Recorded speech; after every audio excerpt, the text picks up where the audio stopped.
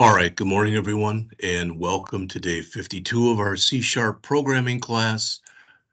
Um, today's going to be a little bit different, and I'll explain it right now. As it says right there, we're going to go over chapters 17 and 18 of the Murach text, but I'm going to flip them. I'm going to do chapter 18 first, and then I'm going to do chapter 17. The reason for that is for chapter 17, the only thing that you have to do is the written test.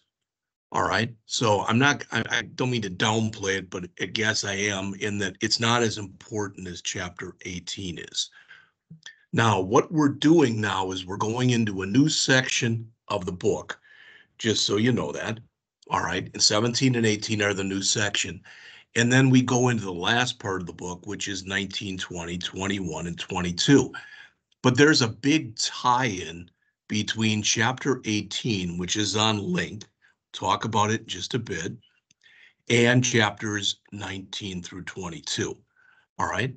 So as it says in here, I'm going I am going to go over both chapters and I'm going to do the exercise for chapter 17 that deals with text files, and I'm going to do the exercise for chapter 18 that deals with LINQ. Both of those will be put out onto a um, GitHub repository later today. All right, for chapter 8, 18, I should say, there will be, in addition to the written test, a homework assignment. I do have the homework assignment, and I'll send it out in my later email today. All right, now a couple last things, then we're going to get started it appears as though everyone who's in the class, all 12 of you who are in the class, have turned in hot number seven, which is your last hands-on test. We can all be happy for that. All right. Some people turned it in literally the day that was given last Friday. Some people turned it in late yesterday, regardless. And I hope to be able to start grading that tonight. I will tell you though, tonight, what we do at Ranken one time a year is we have what's what's called an advisory committee meeting. And when we have that, we have people from business and industry come in and let us know what's working and what's not working in the programs, in the IT programs. Well, we had that one already, but one thing that, that makes Ranken unique, and I think it's a really good thing, is we have another advisory committee meeting, and that one is called an alumni advisory committee meeting. And what that is, is we invite people who have graduated in the last maybe one to five years who are employed in the field to come in and they tell us. Basically, Evan, who runs the meeting, my boss, asks about three or four questions. He said, what, what did we teach here at Ranken in the AWD program that you use on a regular basis? What did we teach here in the Ranken AWD program that you don't use on a regular basis? What do you wish we would be teaching that we're not teaching in the Ranken AWD program? And what do you know, what, what aren't, are we teaching that you think we don't have to teach? That meeting is tonight and it's going to be probably from about 6 p.m. to 8 p.m. All right, so I'm not sure if I'm going to be able to start grading your tests tonight. If I can't, I'll start them tomorrow. All right. For your homework, I've decided, and I'm not going to lie to you. I mean, it's time to be really honest here. I did the one for you in class, the letters one, because I'd done that already. I did the one for you, with you, whatever you want to say on the photos, because I'd done that one already. I had never done this bank login enhanced. And I don't think it's right that I'm assigning it when I haven't done it. I had people emailing me over the weekend asking me this question and that question. And I really, in some ways, didn't know how to answer it because I had never done it. So what I'm going to do later this week is I'm going to upgrade my copy of the chapter 12 bank login, make it an enhanced login. I'm going to do all this and uh, I will email it to you at that time. The reason I'm telling you that is what that means is you do not have to do problem number three. All right. Just turn in your written tests for chapter 14, your written test for chapter 16, and then problems one and two from the homework. All right. Finally, as it says here, there will be no class Friday if, if you're, you know, you call it whatever you want. Call it Good Friday, call it fall break or spring break, whatever you want. We don't have a regular spring break here where you get a week off like you get in, in other schools. All right. The decision was made a couple of years ago to forego the spring break and only give off the day that the Friday before Easter. And the reason for that is the semester ends on May 3rd. So people who are graduating this semester, yeah, there are graduates, people who are graduating, they've got a little bit of a jump on most people who are going out to look for jobs. All right, because there's they're they're graduating a little bit early in the game. Okay, all right. Finally, and again, you might look at this and go, well, wait a minute, we're going over that today. Yes. And that is due, that homework will be due two weeks from yesterday. So you have no homework that's due on Easter Sunday. All right. So for those of you who have family, friends, other obligations, no, you won't have to worry about turning in anything. All right. Okay. So with that said, let's get into this. And like I said, I'm going to go over chapter 18 first, and then I'm going to go over chapter 17. Do I have to do it like that? Of course not, but it's just the way I've decided to do it, be it right or wrong. All right. So chapter 18, as you can see on your screen right now, and hopefully I'm, I'm showing it on the screen. All right, it says I'm sharing. It's on how to use LINQ. LINQ is actually an acronym.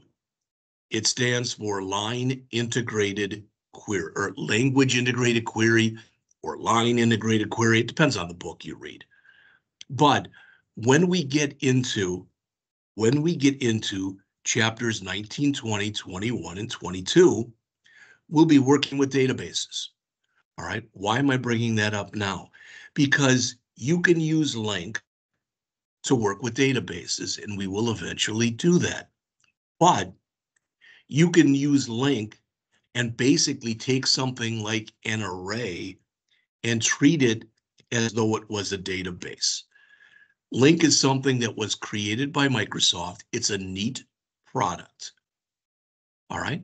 So as it says, this chapter does not focus on databases because we haven't talked about them yet.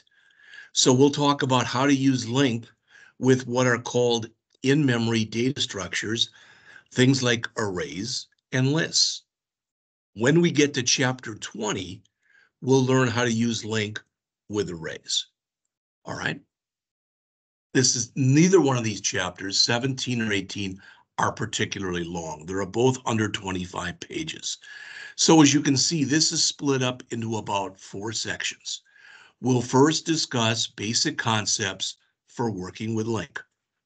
Then we'll talk about how to code query expressions. And there's two ways that you can do this when you're working with LINQ. You can use query expressions or you can use method-based queries. We'll talk about both. All right. Finally, there is a customer service or invoice applications that uses generic lists and you use LINQ with that application. So please don't let what we're talking about here throw you and think, oh my God, I'll never get this. It's I'm not going to say that it's easy, but it's about as hard as you make it. Tomorrow, what we'll do is we're going to go over an example and we're really, really going to take our time. We're going to build a um, a console program. Yeah, it's been a while since we've done a straight console program, but we're going to build that tomorrow. There's a few other things we're going to do tomorrow. I don't want to talk about them right now. Maybe I'll mention them to you at the end of class. So this book calls LINQ language integrated query. For whatever reason, I've heard it called line integrated query also. As it says, it allows you to query a data source using C Sharp. What does that mean? That means that you can use LINQ to ask questions to a program. All right. Now, I was even thinking about this and I thought maybe it would make more sense to show you the kind of thing that we're going to do.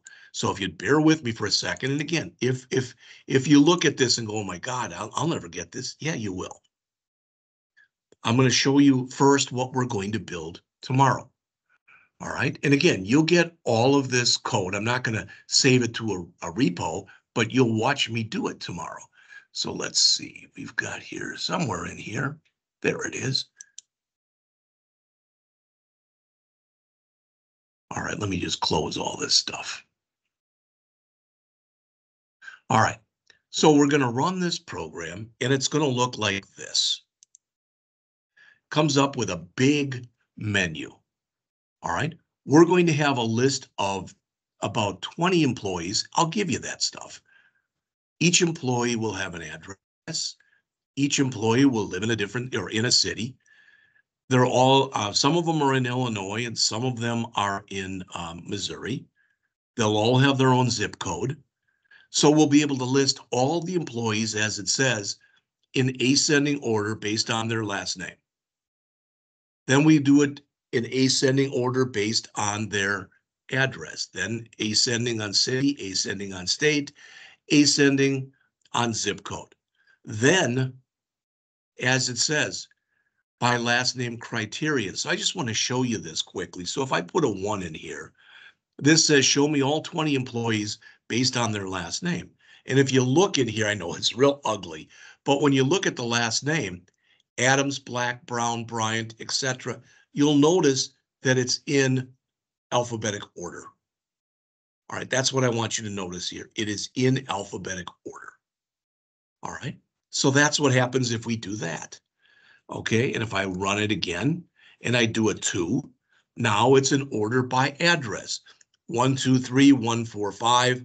You might say, well, that's not in order. It actually is, and we'll talk about what that means another time.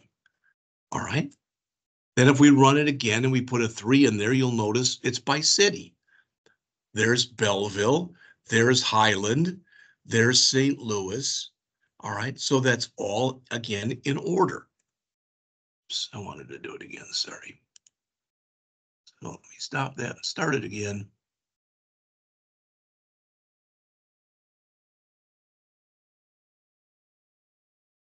All right, I think those probably make sense.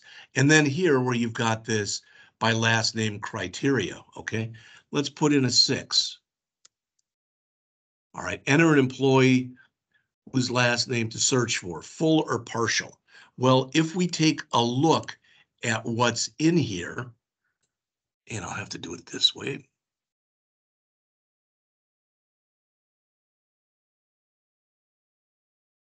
These are going to be our employees. These are the 20 employees. All right. So you'll notice if we look in here as an example, We've got Doe, Smith, Kramer, Adams, James, etc. All right. And you'll notice as an example, we've got Ben Jones and we've got Dick Jones. All right. So if I come in here and run this program and I say J-O-N-E-S, notice that it finds them. It finds there's Ben Jones and there's Dick Jones. I'll try to play with the formatting on here so it looks a little nicer before tomorrow. But you'll, again, hopefully get the idea.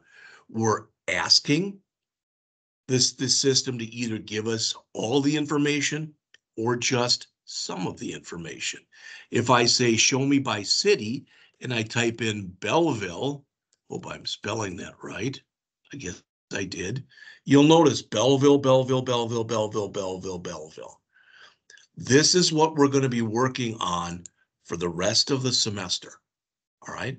And what I mean is we're going to have data sources. We're going to have some data and we want to be able to ask questions of that data. The other program that we're going to do, and we're going to do this one on Wednesday, just so you see it. And again, we'll do this together. I, I am planning on spending the whole period on this. All right, so let me close this. It's GUI, but you, you look at it, you almost think it's not.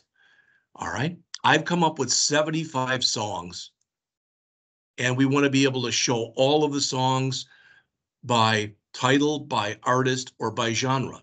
So notice if I do it by title, you can see when you look in here that they're in alphabetic order. All right. If I come back in again and do it by artist, again, they're in alphabetic order. If I do it again, based on genre, alphabetic order by genre, and then I can also go in and ask questions. So if I search by artist and I come in here, it's going to say, okay, give me an artist name. All right. And there's the two songs in there by Garth Brooks as an example. So this is what we're going to be going through in this chapter. We're going to talk about how to do this. All right. We will further refine this when we get to chapter 20. We're actually going to build a database together.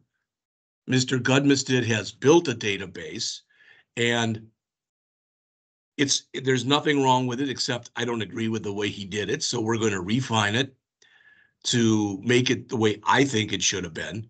And there's just some superficial changes I'm going to make to it. All right. But then we're going to work with that as well. All right. Hopefully, whoever was trying to get in here Good, you're all, it looks like you're all able to get in here. Good. All right. So again, if you just did join, I'm going to do chapter 18 first. Then I'm going to go back and do chapter 17. Chapter 18 will have homework associated with it. Chapter 17 will just have the written test. All right. So we're talking about LINQ, language integrated query, and it allows you to query or ask questions to a data source. In this chapter, our data source is going to be either a list or an array. When we get to chapter 20, the data source will become a database. Don't worry about a database right now. All right. They go through here and they talk about how LINQ is implemented. And this is, you know, kind of a behind the scenes type of thing. All right the, the key thing there is if you notice, it says they're defined by the enumerable and, and queryable classes. Well, the thing is about those, just so you know, is again, LINQ is an entire Microsoft product. When we get to chapter 19 and we start talking about databases, we're not only going to talk about LINQ, we're also going to talk about something that's called SQL or structured query language. SQL works solely with databases. LINQ can work with databases and it can work with data sources like arrays and lists. So in, in some ways, at least, it's more powerful. And they start to come in here and give you some of some of the advantages of using LINQ. all right, and they show them on the page here. says makes it e easier for you to query a data source by integrating the query language with C Sharp. What the heck does that even mean? When we get to chapters 19, 20, 21, and 22, what you're going to notice when we get there is we're going to use some stuff we haven't talked about in here all semester. When you look in this box here, all semester, this has been our toolbox. All right. And that's, there's nothing wrong with that. That's correct. But you can also click view and put in, if you look here, there's something called, for example, an SQL Server Object Explorer. And in there, you can work with databases.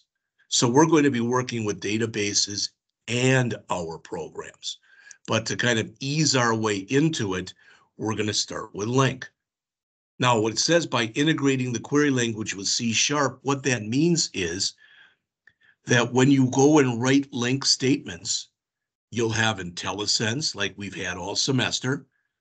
And if you make a mistake, it'll show. So if you've got some kind of an error, like we've done before, like leaving off a semicolon or spelling something wrong, etc., it'll be caught. All right. So that's what they talk about in here. It says it also makes it easier for you to query different types of data. Like I said, things like arrays and lists. All right. Now, we'll go back in just a second. I'm going to go back a page, but it says there it makes it easier for you to use objects to work with relational data sources by using an object relational mapping network. That's what we're going to get into more in chapter chapters 19 through 20, just so you're aware of that. So like I said, there'll be a, a lot of new terminology and stuff that's in here. And if it doesn't totally make sense, please don't let that throw you. All right.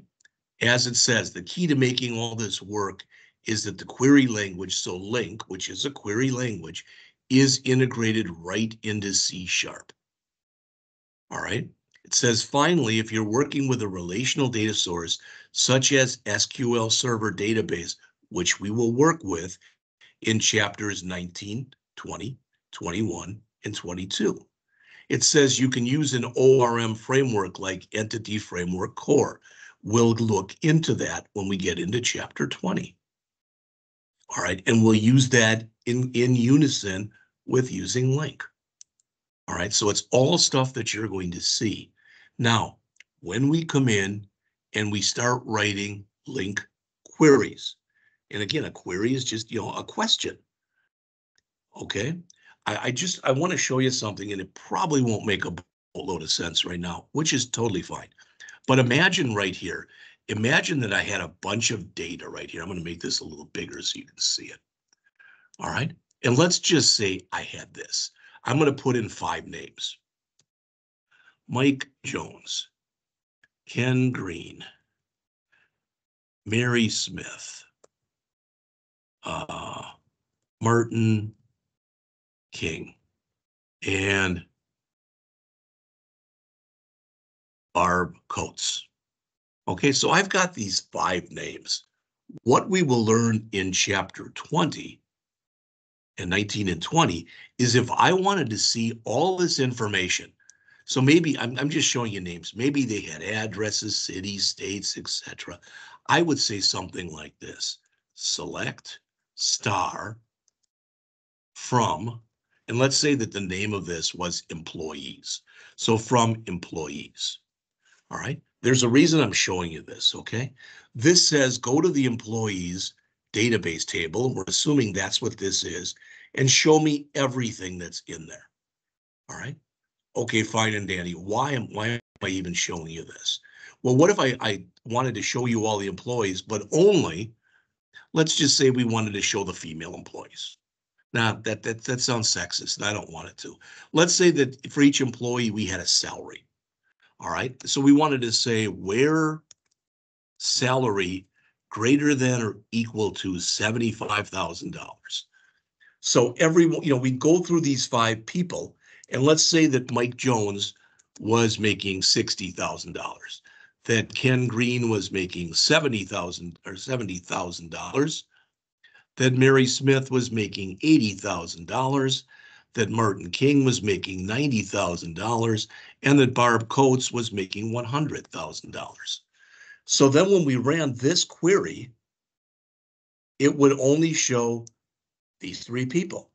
Because what we're putting on here is basically, we're saying that we want to take our results and we want to funnel them. In other words, we, we only want certain things to show. So if we do this, just this part, it's going to show all five of these people. But if we do it like this, it's only going to show the bottom three. So who cares? Why am I even showing you that? Well, if you notice when you write SQL, okay, just so you know, when you write SQL like this, you write select and you use from and you use where, and there's a few other things. There's all things that you're going to learn. The reason I'm showing you this is if I write this same query in LINQ, I say from employees where salary greater than or equal to 75,000 select star. So you can see in a way, I mean, in, in very many ways, it's the same thing. But we're changing the order around. And I believe one of the reasons that Microsoft did this is because this right here will work with SQL. This will not. All right, this will not work with LINQ. This will. So we're basically doing the same thing. All that we're doing in here is we're changing around our order of operations. All right. So you're going to learn how to do it like this now. Then when we get to chapter 19, we're going to do it like this. And we'll actually end up in sometimes doing it in both ways. But the point is, you're getting the same data regardless of how you do it. All right. Okay. So you can read this stuff yourselves here. I, I don't want to sit and, and read everything that's in here in the book to you. This is going to be important a little bit later in the chapter, and that is that you can write LINQ methods in two ways. You can write what are called method-based queries, and you can write what are called query expressions. All right. It says you use a method-based query or query expression to identify you know, what you want to retrieve. All right, what I showed you over here, all right, what I showed you over here in this example, this is a query-based expression. The method ones we'll get into in just a little bit. All right, okay. All right, the three stages of a query operation. So what, what the heck does that mean? It means that when you are sitting there and you are planning it, so if you've got some data source, maybe you've got an array with a thousand employees in it, or a list would be better because again, you can add and remove employees. So let's say you had a list with a thousand employees. All right, that would be stage one. That would be getting your data source. That'll be the thing that contains our data. Then the second stage, as it says right here, is to define the query. So you have to figure out what it is you're looking for. All right. And again, when we looked over here at this, remember, had we not had a had had we not had this, if we just said from employees select star, we'd get everybody. So we'd get all five of these employees. That's just like if we said this, select star from employees, the same kind of thing. All right. But in either way, we are going to be coming in here and we're going to be using a data source. And again, in this chapter, the data source will be a list or an array. So why am I spending all this time telling you this? Because for lack of better words, the example that they're going to give on the next page, sorry for my English, but it kind of sucks it's not really what I'd call a, a really good example. All right. Now, it says here that when you write a query expression, you typically store it in a query variable. All right. So in other words, what I showed you right here wasn't complete in this one here. You typically would put that, the results of that, you would put it into a variable. All right. And the reason for that is you can define it and then maybe not want to execute it right away. And as it says there, the query is not executed when it's defined. All right. And again, you're hearing a lot of new terms here. And if it doesn't make a lot of sense, that's really to be expected. All right. We're going to look at their example that they have, again, albeit a simple one, on the next page. So in step one, you figure out what your source of data is going to be. In step two, you define what you want to ask for. And in step three, you actually write the operation to execute the query. And there's different ways that you can do it. All right. Now, when you save it into a query variable, which is what they're going to talk about, that's called deferred execution. If you look at the bottom paragraph here, what that means is you can print out the results when you want to by giving the value of that variable. If you don't want to use deferred execution, if you want to run it right away, it's called immediate execution. All right. So let's take a look at the example that they show in here. So again, these are the three steps. So here in step one, we've got a pretty simple array with five numbers in it. It's an integer array and it has the number zero, one, two, three, and four in it. You can see we've got a deferred execution here because we're saving the results and we're saving the results into a variable that's called number list. Notice when we do that, we're using the word var. All right. In this case, all right, in this case, we're, we're saving integers. But we could have another one where we were saving strings or saving booleans or something else. So what you do in here is you don't say int number list, you say var. And when you use var, what happens is the system looks at what it is you're doing and it says, oh, those are integers. So number list is going to hold integers. All right, so it figures out the data type for you. So here is step one where we're getting our data source. Here is step two where we're defining the query. And here is step three where we're running the query. All right. And when you look at that, okay, it says for each var number in number list, what that's doing is it's taking zero and it's dividing it by two. And it says, does it have a remainder of zero? Yes, it does. So that comes as part of the list. All right.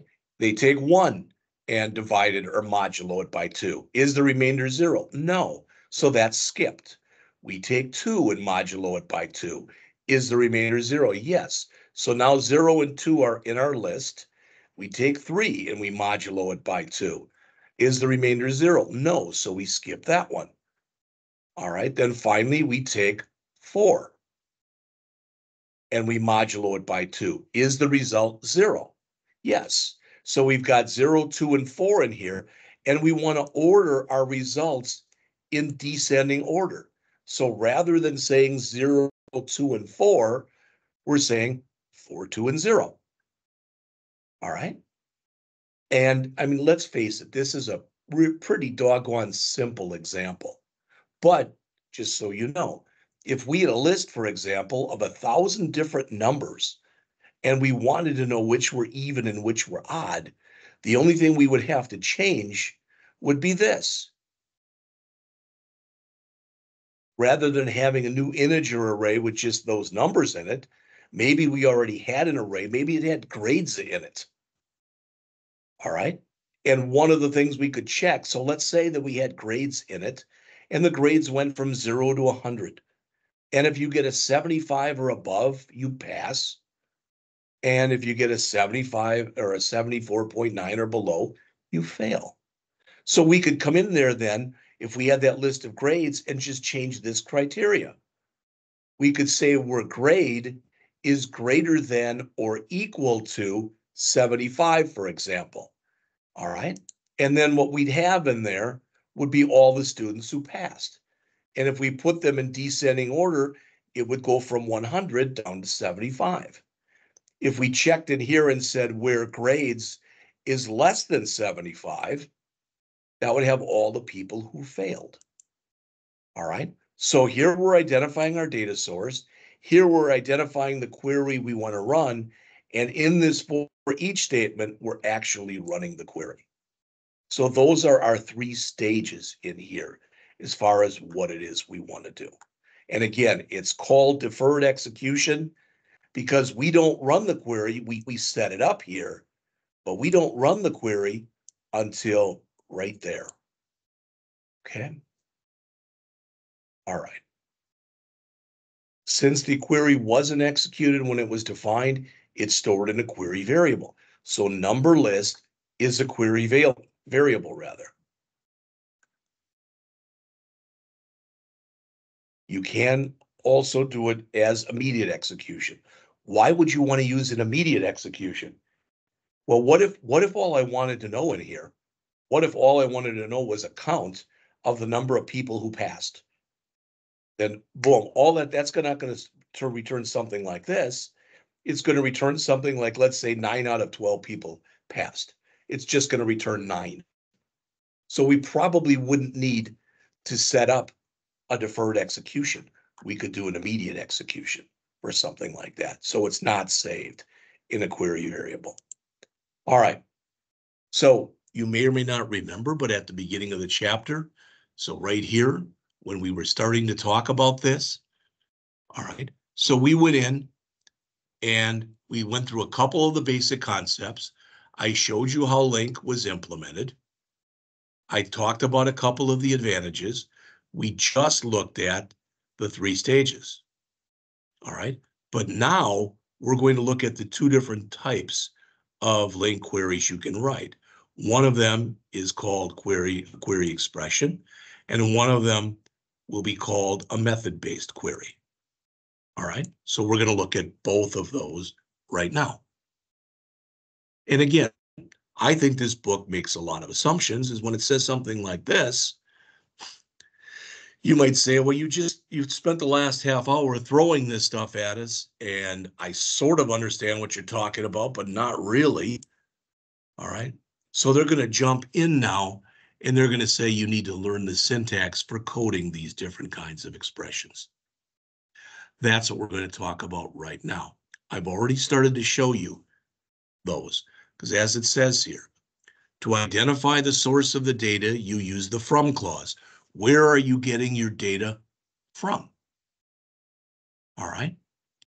As it says, this clause declares a range variable that'll be used to represent everything that you have in the data source. So they're going to show some examples in here. Let's, rather than going through this, let's take a look at the example and then we can come back. All right. So if you look right here, we've got a decimal array with one, two, three, four sales totals.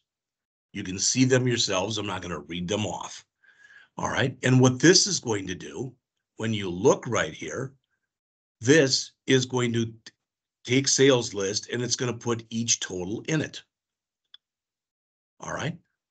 So it'll add all four of these. That's what's going to be held in here.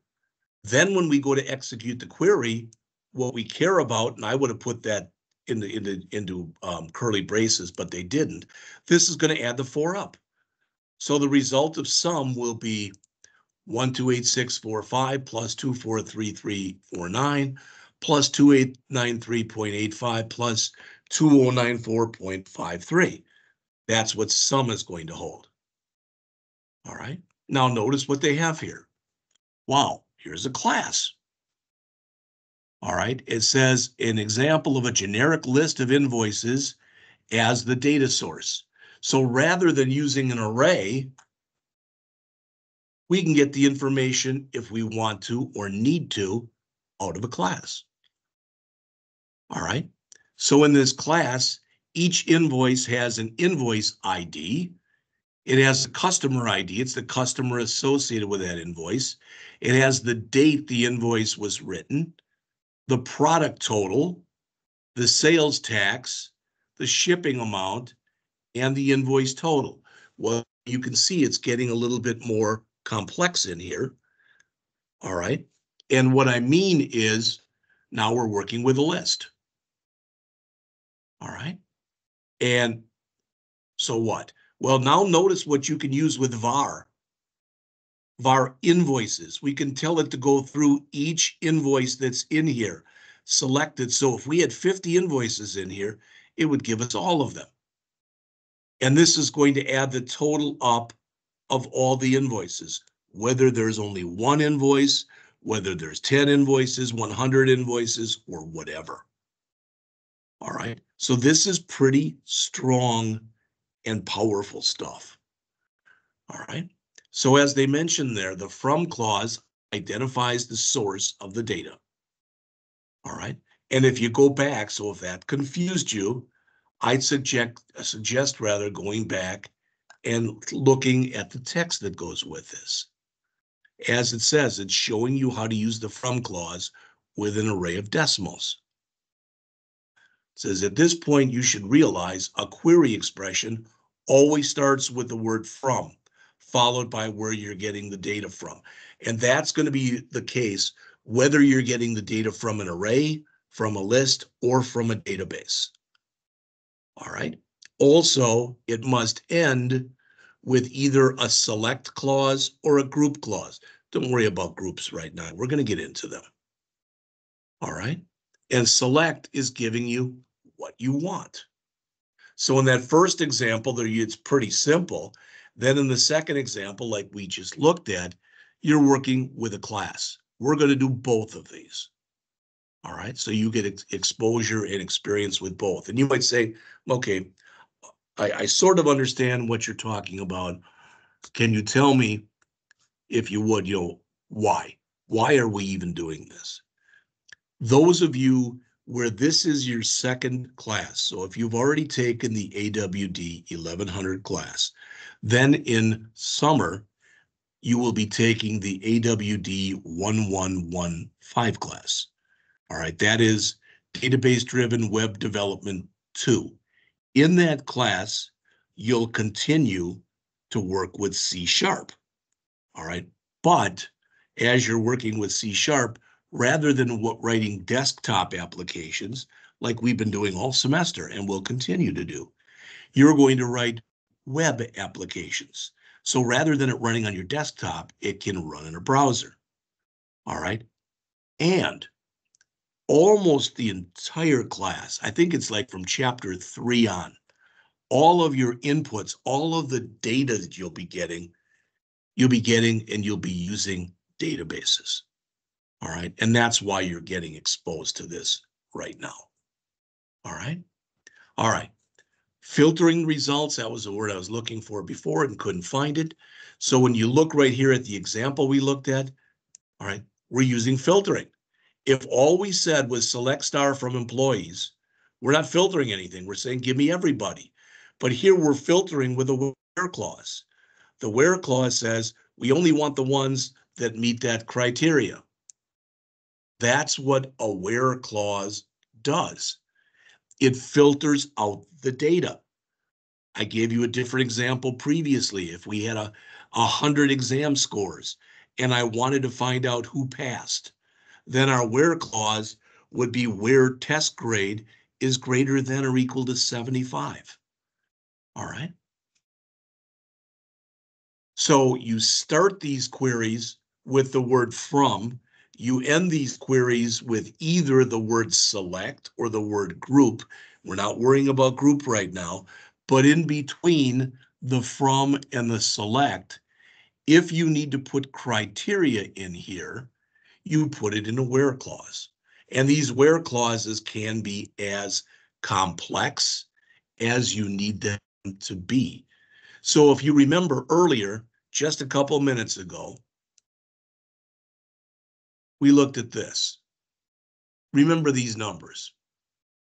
Okay, let's copy them and let's put them down below here. So there's our four numbers. Okay, in fact, we'll just do it like this. All right, so those are our four numbers right there. All right, why am I showing them to you? I'll tell you right now. Because when you look in here, now we're putting in a where clause. And in that where clause, let me move this way the hay over. All right. In that where clause, what we're asking for in there is only, only the times where our totals are greater than 2000. So you'll notice this one is not going to be included in the list we have filtered the data. So if we said, just give us the ones that are greater than 2100, that one wouldn't be in here and neither would that one. Now, one thing to realize about this is sometimes when you run a query like this, you'll get back nothing. So if I came in here and said, show me all the sales that are greater than 3000, it wouldn't show me anything because there aren't any. In just the same way, if these are my employees right here, and I said, show me all employees making over a million dollars, there's nothing wrong with the query, but there'd be no data that would satisfy the query itself. So what I'm telling you is sometimes when you run queries, you'll get back nothing. That's not an error. That just means there was no data that met your criteria. There's a difference between those two. All right. So if I say, you know, show me how many people make over a million dollars and it comes back with none, what I know is the query is okay, but I know nobody is making over a million dollars a year. All right.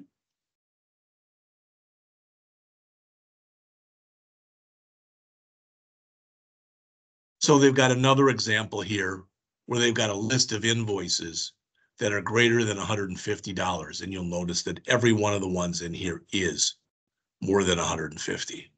Now, they didn't do any sorting in here, so there's no order by clause like you saw before. All right, so if they had done this query right here, let's grab that query, copy it, let's bring it over here. All right, so we've got var invoices equal this, where this, select this. If we had come in here and said order by and we said, you know, invoice dot invoice total, something like that. And let's say we did that and we said descending. All right, so let's assume for a second that we had written that. All right, then what's going to happen, move that over a bit. All right, so you can see it right here. Make it a little bit, a little smaller so you can read everything. All right, so if we did this, we'd have the same things that are here, but the first one you'd see would be 654.63, then 317.81, then 259.05, etc. Because here we're filtering. Here we're changing the order in which we're displaying things. If we did it in ascending order, it would go from smallest to largest, but I wrote it with descending, so it'll go from largest to smallest. All right, so as it says there, the where operator lets you filter data. The condition is coded as a Boolean expression. That's what this is. Where invoice dot invoice total greater than 150. Where sales greater than 2000. Those are Booleans. They either are or they're not. Now they're going to come in here and they're going to talk to you again about sorting it's kind of weird, and don't ask me why, but Microsoft decided that when you did your order by like this, they made order by a single word. Why am I telling you that? Because when we get to the SQL part in chapters 19 through 22, order by will be two words. Why did Microsoft decide to make it one word when SQL makes it two words? I have no idea. All right. But again, we're asking for the sales greater than 2000 here. All right, so there they are in this particular example. All right, so here they come in and notice they, you know, is there any sorting? You say, no, there's not. Yes, there is. It's sorted by customer ID in ascending order. All right. So as it says there on the bottom of the page, the order by clause lets you specify how results are sort, sorted. You can specify one thing or you can specify multiple things. Now, going back to the example that we had up here, what if we had also, let's say that Mike's wife Betty also works here? Okay, what's which one is going to show first, Mike Jones or Betty Jones? You actually don't know. But I could, when I, if I did a sort, I could sort it by last name. Then I could say comma, first name. And then Betty would come before Mike because B comes before M. That would be putting in multiple sorting criteria. totally legit to do that. All right. Now, if you only want certain fields from the query, all right, if you don't want everything that there is, so again, we're, we're imagining here, I'm keeping it simple, but what if we had in here also an address, a city, a state, and a zip code for each one of these people? Then when we did the select star, we'd be getting all that for everybody. All right. But if we only want some, some stuff, so just the first name and the salary, first name, last name and salary, we're creating what's called a projection. So we're saying, don't show us everything, just show us what we want to see. All right. So if you look at this example right here, here they've got a sorted list. We haven't really dealt much with those, but they work with keys and values. Anderson made 1286.45. Menendez made 2433.49. Thompson made 2893.85 and Wilkinson made 2094.53. All right, so when we run this, we're asking for sales greater than 2000. All right, put put them in there. All right. And all we're asking for in here is to just display the name of the employee. All right, just the employee's name. We don't care how much. We just care, these are the three employees out of the four that had sales over $2,000. All right, this is a little confusing down here, but as it says, that's a query expression that creates an anonymous type. And if something is anonymous, that means it's not named. All right. So it says here the select clause indicates the data you want to return. A query that returns anything other than everything that's in there is called a projection. To return two or more fields, you typically code an object initializer. You're going to see this as we go on. And again, I realize this.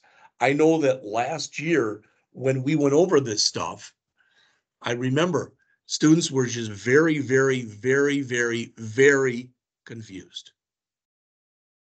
All right, let's talk about this and then we're almost ready to take our break. All right, there's about 10 pages left in the chapter. I wouldn't mind trying to finish this before our break. So the next thing is called a join for two or more data sources. I'm going to give you another example. All right, we're going to assume in here, we're going to grab our five employees. I'm going to get rid of that address, city, state in just a second. All right, but I'm going to hit enter a bunch of times here so I can come down here. All right. So let's suppose that we have three different departments where we work. So we've got a web programming. All right. We've got a programming and we've got an accounting. All right. And we'll just grab these. I, I'm just arbitrarily doing this. It doesn't have any meaning to it.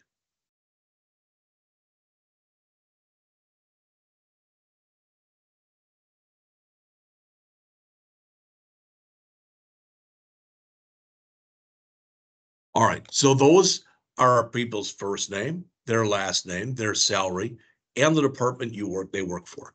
Now imagine that we had thousands of employees.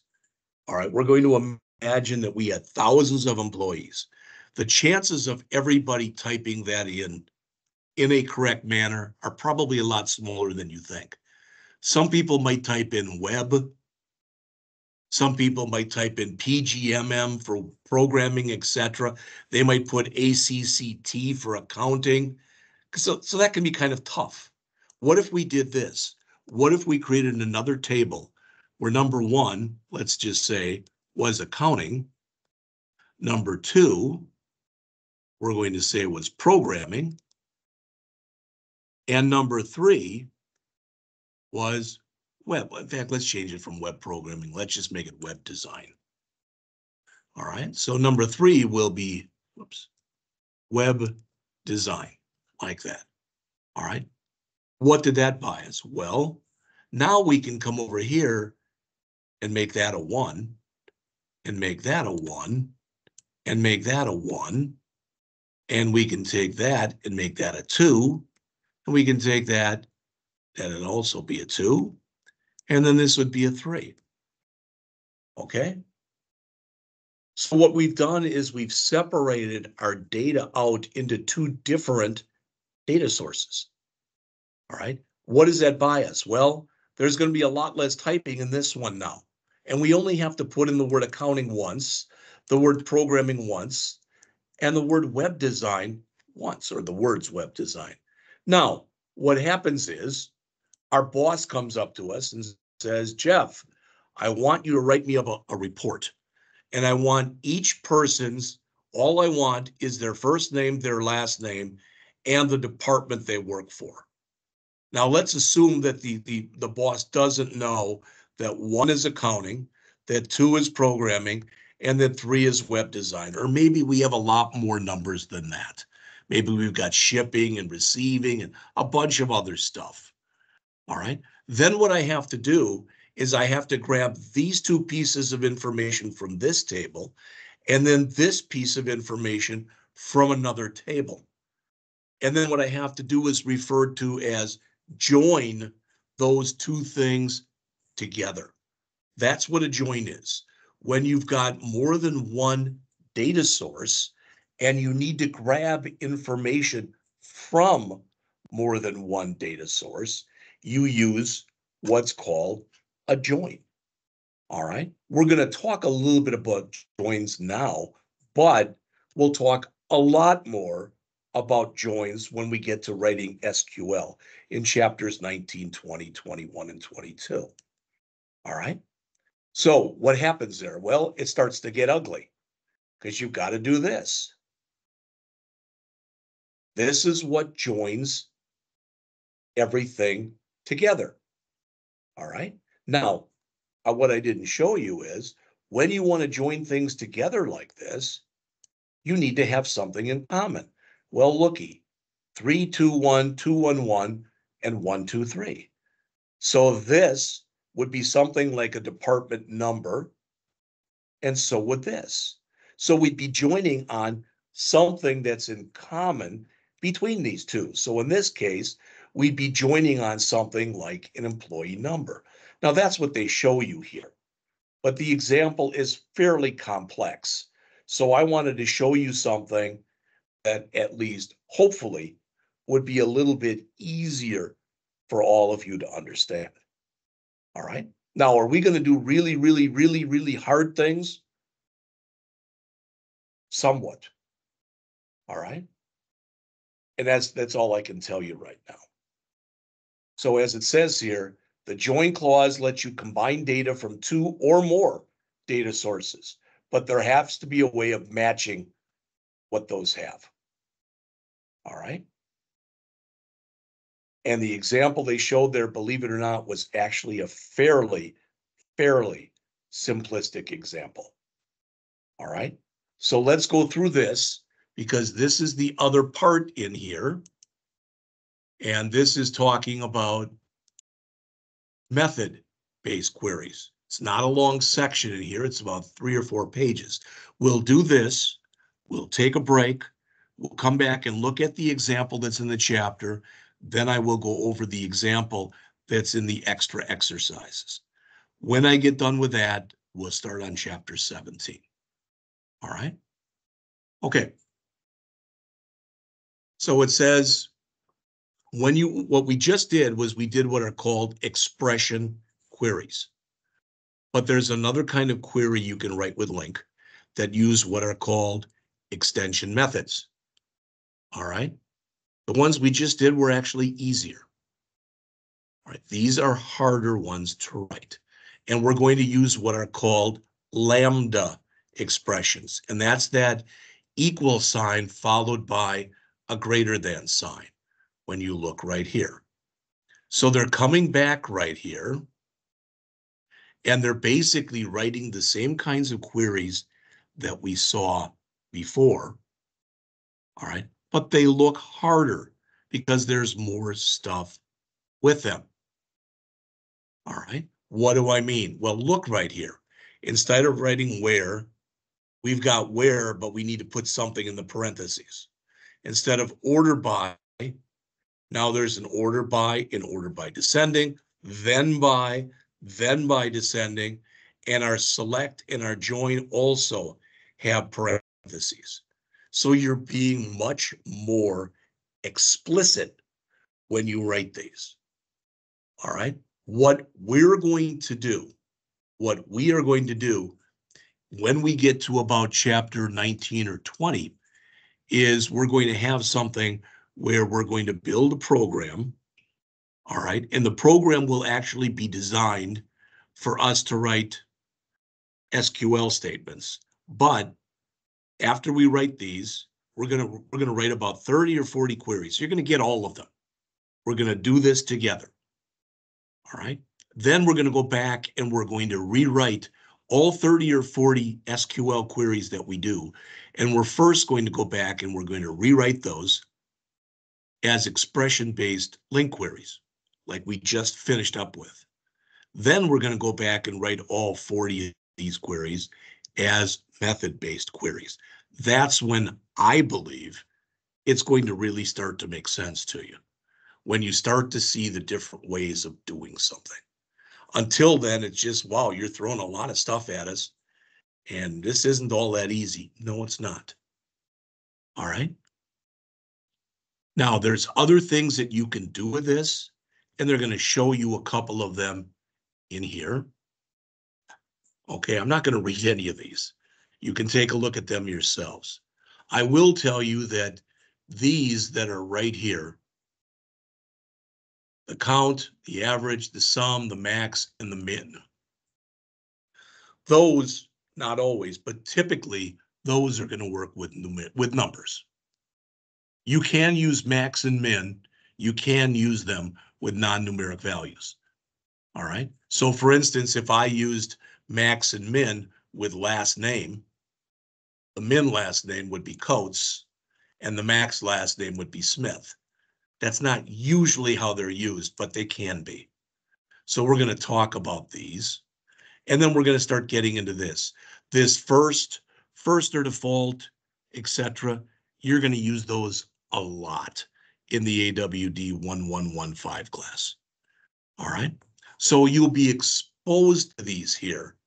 But if they don't totally make a boatload of sense to you right now, believe it or not, that's to be expected. All right. So they have some examples here, and we're going to take a look at them. All right, not this second, but there's a few other things. There's skip. Skips over some elements. Take gets the specified number begin, you know, to begin with. To list. This is going to be probably eventually when you get into the AWD 1115 class, that'll be probably the most important one that you work with is to list. This first says, says show me the first one. First or default says show me the first one. If there isn't one, show me whatever we set up as a default value. All right. Single expects that there's only one thing. So if I was doing something in here, let's just say, and I would, I, let's say I also had in here an employee number. All right, so let's just, you know, you know, if we made up employee numbers here, and I said, as an example, if this was one, two, three, four, and then this one was two, three, four, five, and then this one was three, four, five, six, and then this one was four, five, six, seven. You're getting the idea, hopefully. And then this next one would be five, six, seven, eight, and then finally six, seven, eight, nine. All right. So why am I showing you this? Well, what does that have to do with what we're talking about? All right. Well, when you start to take a look in here and you talk about skipping, etc., and you talk about single, if I would say return the employee with an ID of three, four, five, six, we're expecting there's only one employee with that ID. If we said return all employees with an employee number greater than 3,000, there would be multiple ones. So if I try using that single that we just looked at that single and it returns more than one thing, we get an error. It's only expecting one thing. These are all things that probably don't make a boatload of sense to you right now, and hopefully will make more sense to you as we go on. All right, all right, we've only got four or five pages. I'm gonna stop right here. It is nine ten, it looks like. So let's come back at nine twenty. We'll finish up this chapter. I'll be back in just a couple minutes.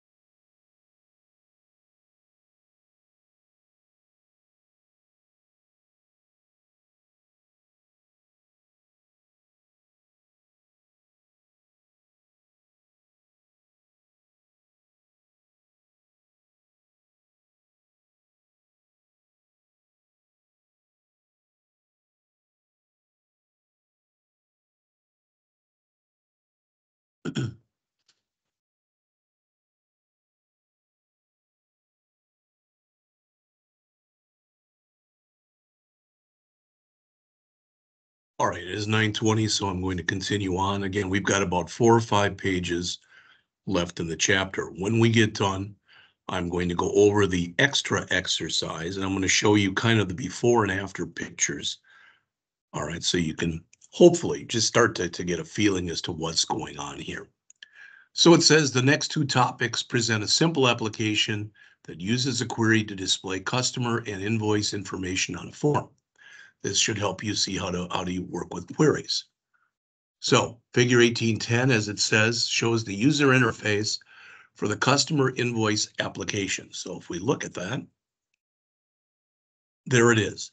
Now this control that's right here, this control is known as a list view. We're going to end up using one of those on Wednesday. So don't really worry about it right now, but it just is a way that you can kind of set up information the way you want. All right, and if you look right here, you'll notice that there are two customers in this list of customers, and those are Sarah Cumberland and Kathy De La Fuente. They both have more than one invoice. Every other customer that you see in here, I'm not going to list them, you can see them, they have only one invoice. All right. Well, what we're able to do with the list view and be, you using the list view and using these query operations is what we're saying is, hey, what we want you to do is we want you to basically take all the invoices and separate them by customer. Now, typically in a bigger company, of course, all right, I mean, I mean, imagine a place like a Walmart or whatever, you know, you're going to have multiple invoices from the same customer, not just from two customers here like we have here. All right, but that's our interface.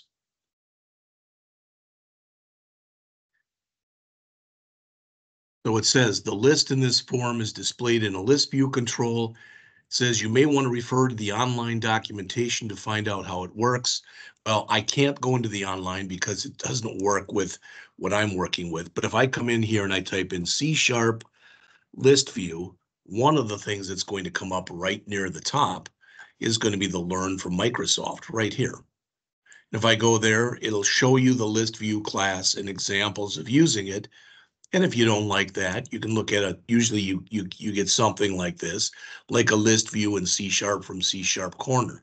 And they show you how to set it up too. That's what it looks like. It actually looks like a really big text box. It's kind of what it is. All right, but notice what you can do in here.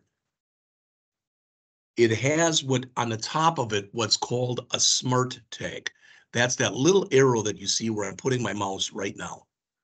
All right, and if you click on that smart tag, it's going to bring up something like this, where you're able to come in and, and have some control over what gets listed, the order in which it gets listed, etc.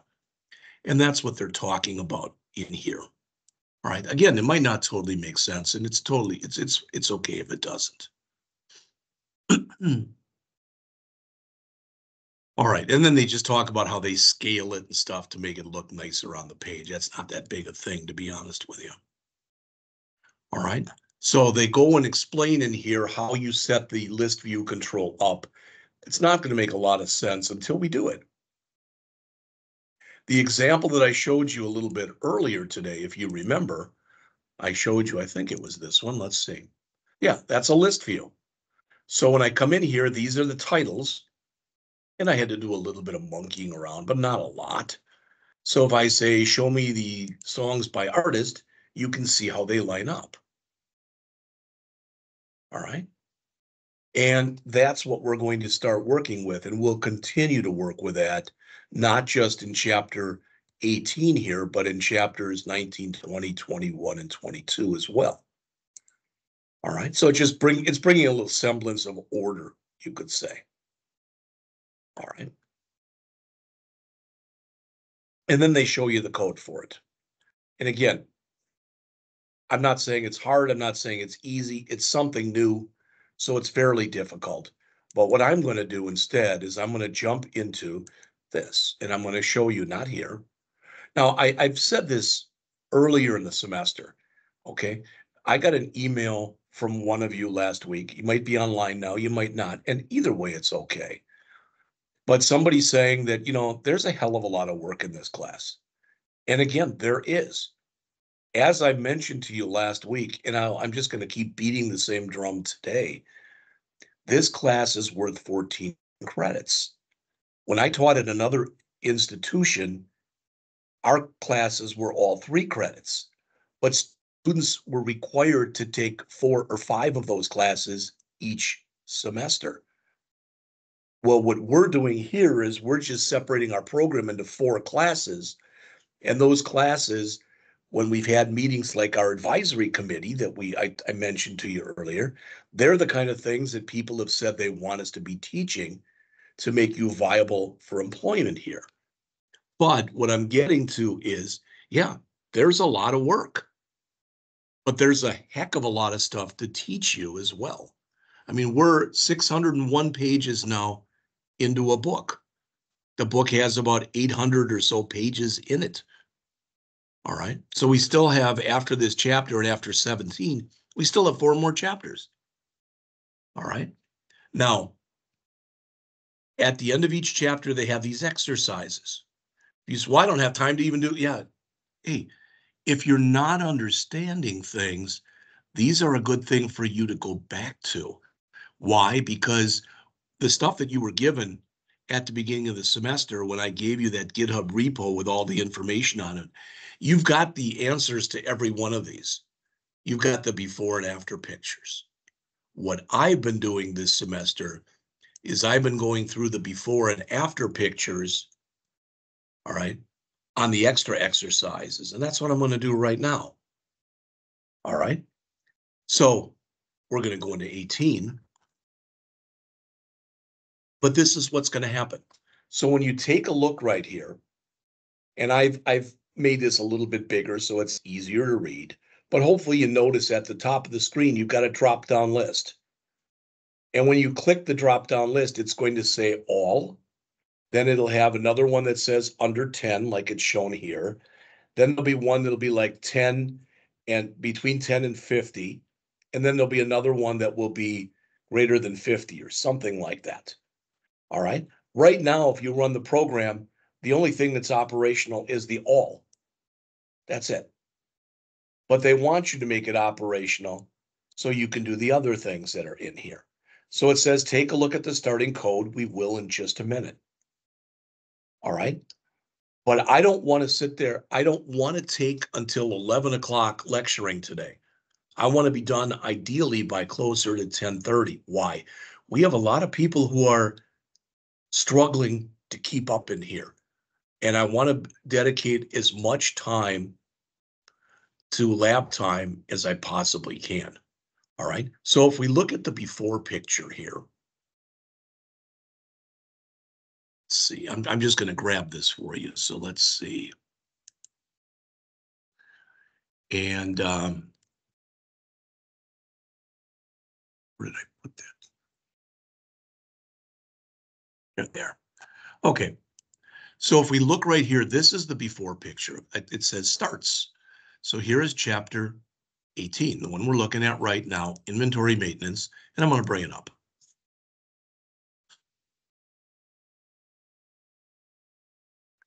All right, so if we run this, it looks like that. But you'll notice if instead of all, if I choose under 10, it doesn't change. If I choose 10 to 50, it doesn't change. And over 50, it doesn't change. I can put a new item in, so I can add an item. All right, so let's say two, three, four, five, six, seven. All right, and it'll be some new item. And let's say that it's expensive. It's $399. All right. And I click save. All right. It says price must be a valid decimal value. Oh, I can't put a dollar sign on that. That was on me. All right. So save. And there it is. So that worked. And I can come in here and I can grab that item. and I can delete it. And that works. I could delete any of these. That all works. All right. But like I said, this doesn't work. That isn't working. So that's what we're asked to do in here. All right. So what I'm going to do is I'm going to show you the final copy and we're going to go over that. All right. Not, not spend a long time on it, but just a little bit. I've got a bunch of copies of this that I was working on. Hopefully I'm giving you the right one here. So we'll see in a second. All right. So it's coming up like this. All right. And right now it looks like there's nothing in here. So let's add a few things. All right. So item number one, two, three, four, five, six. New item number one and we'll say that that is $8.99. Save it, and you can see it's in there. All right. So let's add, in fact, this is wrong. Let me let me go back. I think I brought up 17 and not 18. Yes, I did. All right, I was wondering why it looked a little funky. So let's bring up 18. All right, so this is the actual working one for chapter 18. We're going to go back and take a look at the code for it in just a moment. But when I run this,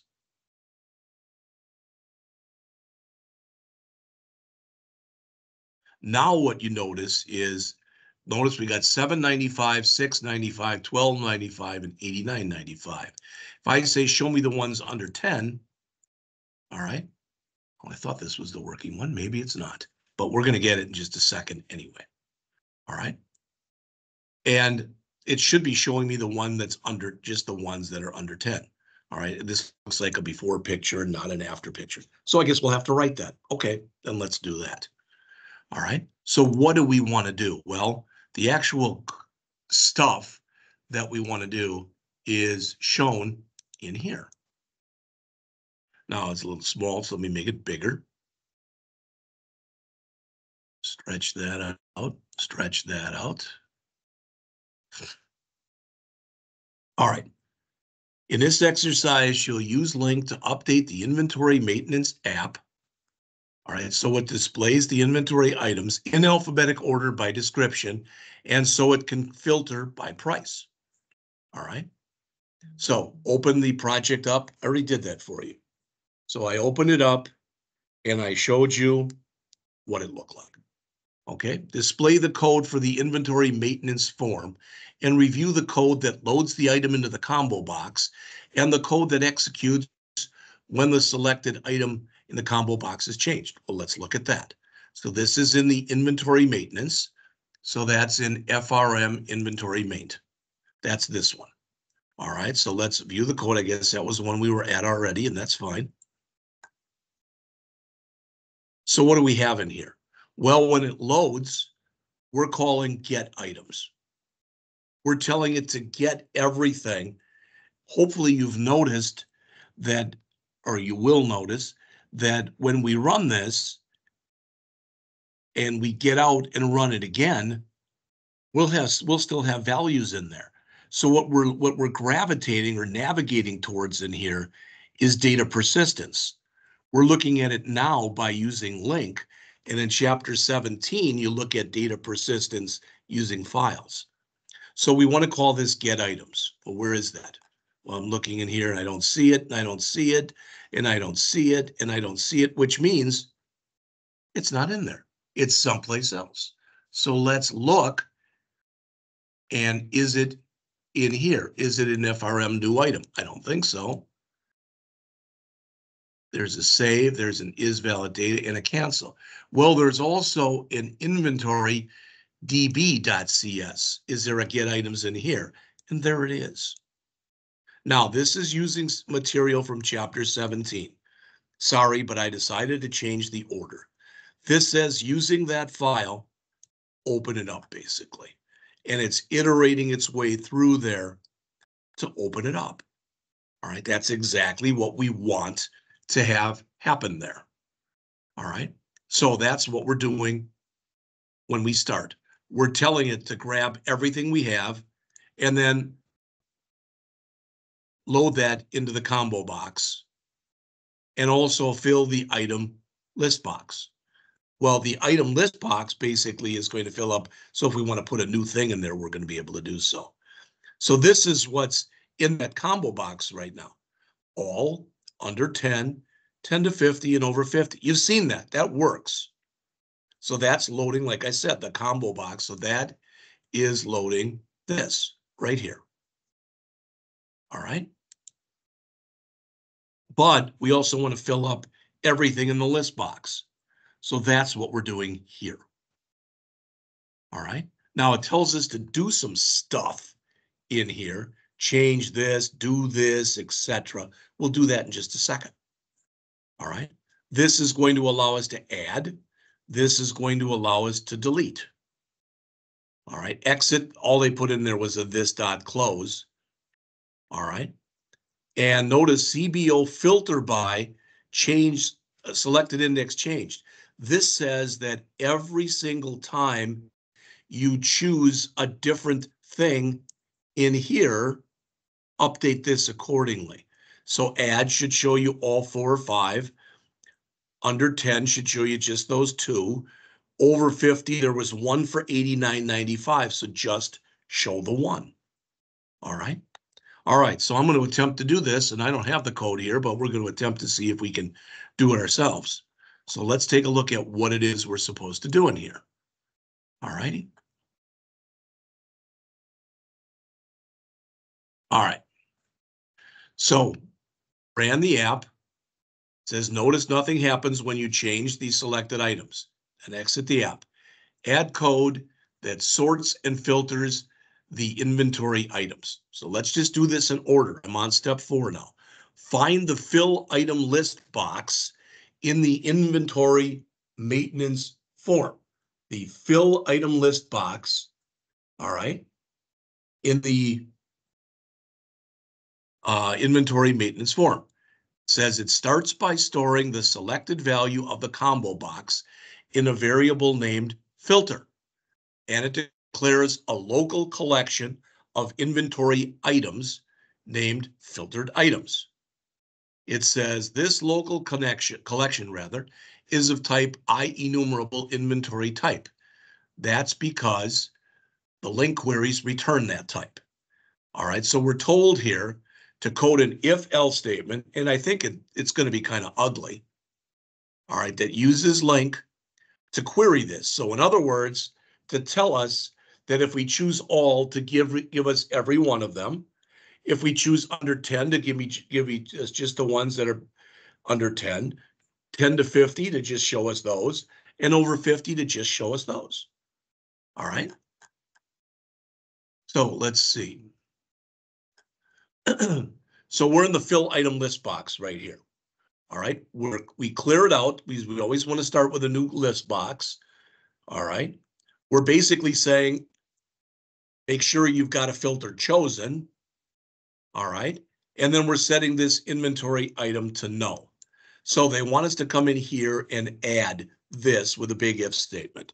So I'm going to put that in right now. All right. Now these are using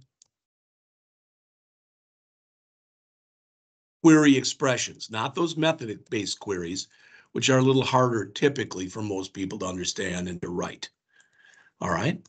So we're going to come in here and put it, put these in like this. So if our filter is equal to all, that means, again, we want to see everything. All right. So I'm going to put in here filtered items equal, and now I'm going to write the query. All right, and I'll put it, it's going to be on, whoops, not there. It's going to be on multiple lines.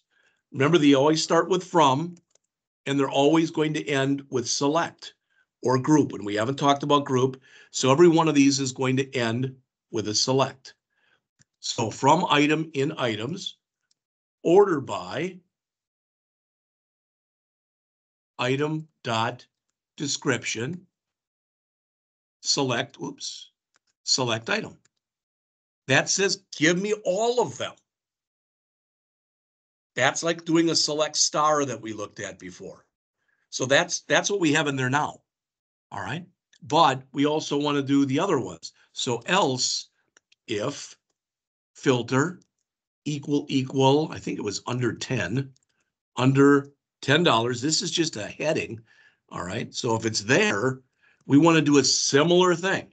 So I'm going to grab this for now and then make changes to it. All right, so filtered items equals this, but we only want to do it where the item dot price price is less than 10. All right, so that's those. Else, if the filter is equal equal to uh, what was it? 10 to 50, I believe.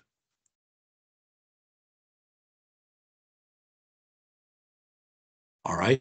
Again, I'm going to just copy this in and make some changes to it.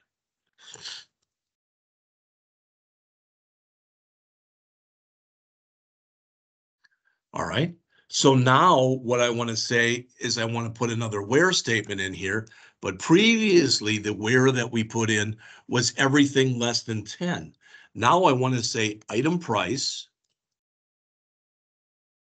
is greater than or equal to 10 and item price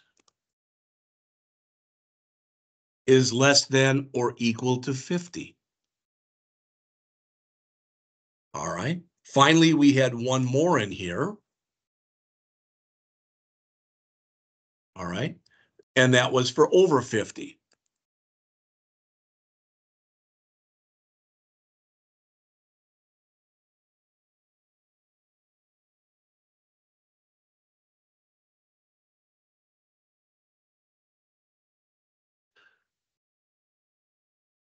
And again, I'll copy this in. In fact, it's going to be more like this one here. So I'm going to copy this one. Oops, yeah, I can grab that. That's fine. And now I'm going to say price greater than 50. Now there's a way we could do this with method based as well. What I'll do is I'm not going to go through that right now, but I will put underneath here, I'll put how we would have done that in method based. All right. It's it's uglier for lack of better words, but I'll put that out there so you can see both of them. All right. So what did we just do here? We did this. So we updated the for each so that it loops through the collection rather. Oh, we did this. It says you can use method based or expression based or, or query expressions. Rather, I used the query expressions. I have the method based, all right, someplace. It's a little bit more complex, but they'll be in there as well. Then next, we want to update the for each statement so that it loops through the local filtered items collection rather than the class level items collection. All right, so we just put all this in and now we're looping through right here. Lst items dot items dot add item dot, I think that's going to work okay the way that it is. I think that's going to allow us to loop through it. All right, so let's see. Test the app to make sure it displays the items in alphabetic order and that the filters work. So let's see if it works. I could have left something out. I never do that purposely, but it's possible I did. So let's see. First of all, notice these are in alphabetic order, not based on the description. Whoa, that was interesting. All right, so let's see.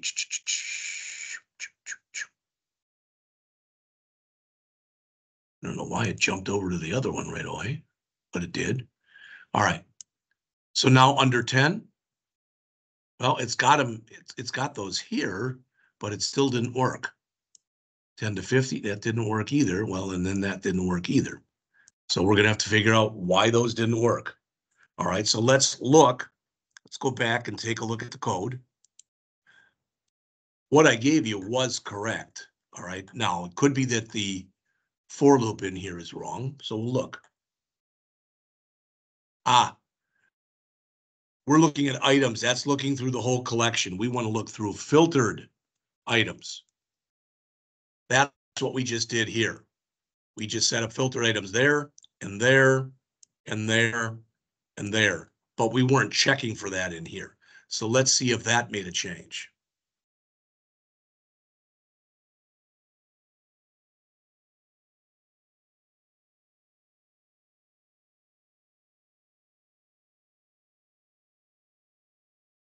Why that's taking so long to run to, oh, no. Oh, good gravy, come on. Could not copy. What the heck is wrong here? Good golly. I've got a working copy of this. In the worst case is I'm going to send you the working copy.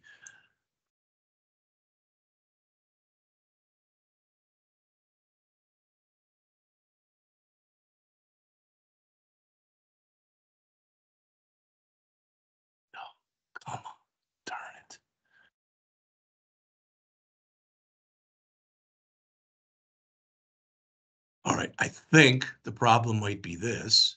Let's see. Since I'm working with a different copy, yeah, oh no, that is eight, that's eight, and that's eight. Doesn't like something that's in here. It's giving me these two errors. Says this is locked by inventory maintenance. Well, then let's do this. Let's do a file, save all. Let's totally quit this and bring it back up again. All right. I already think I know what the problem was. I think I already had it open and I opened it again. I think that's what the problem was. So let's check. See if now we get any errors when we run this. All right. So under 10, there we go. And it's in alphabetic order. 10 to 50, there we go. And over 50. So now everything's working.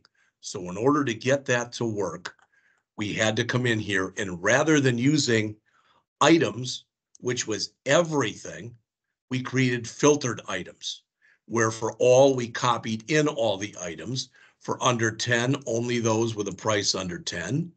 With 10 to 50, with a price greater than or equal to 10 and less than 50. And over 50, where the price was greater than 50. Then we had to change this from items to filtered items. All right, so we've got all that working. All right, so run the app and click delete. Notice that the confirmation method message identifies the wrong item for delete. Click cancel and exit the app. So let's look at that. All right, so small or snail pellets, delete item. And it says, do you want to delete Japanese red maple? All right, the reason that it's doing this is it's doing this in the order that it was put in originally. But we came in and put a filter on there so that we changed the order here to be an alphabetic order based on description. Now I'm going to say no. I don't want to remove any of them. All right.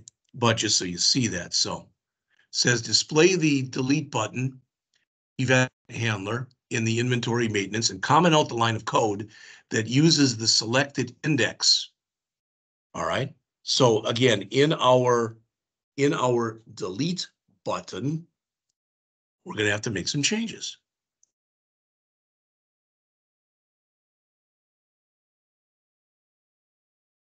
All right, so it says comment out the code.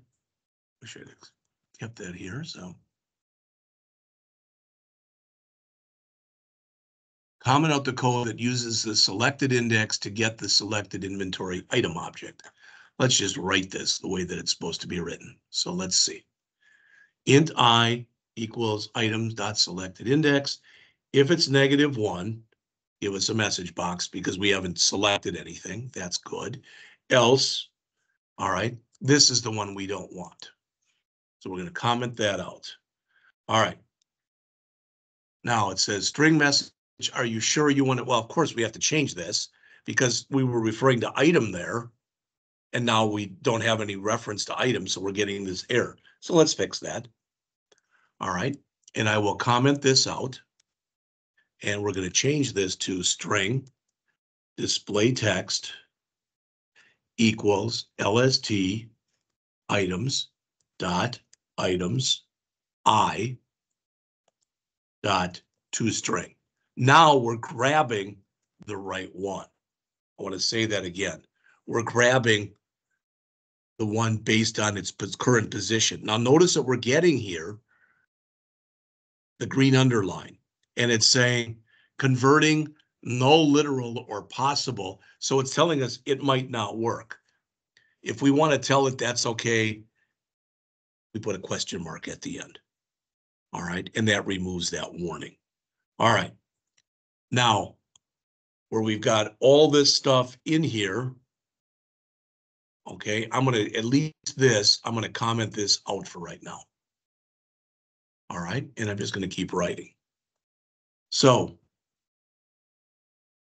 Inventory items.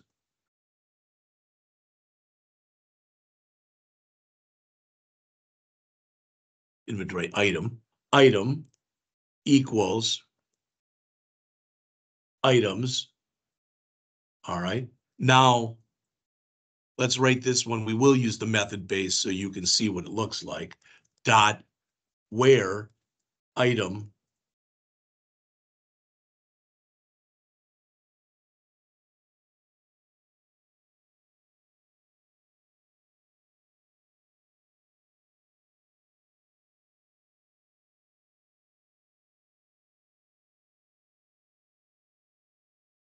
All right.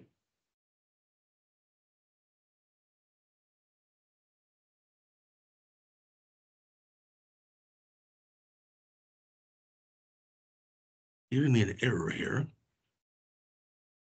Hot item right there.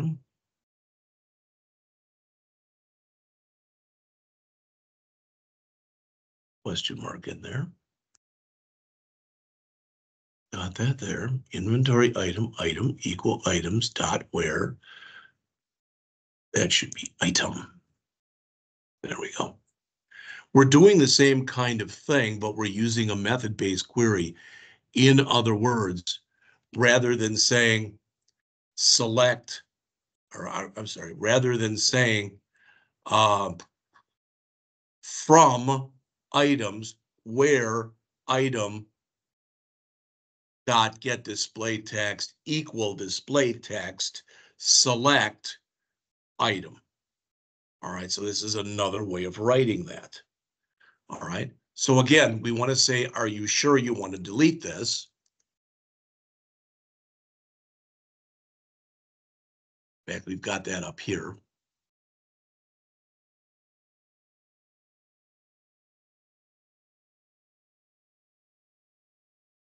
Are you sure you want to delete that item?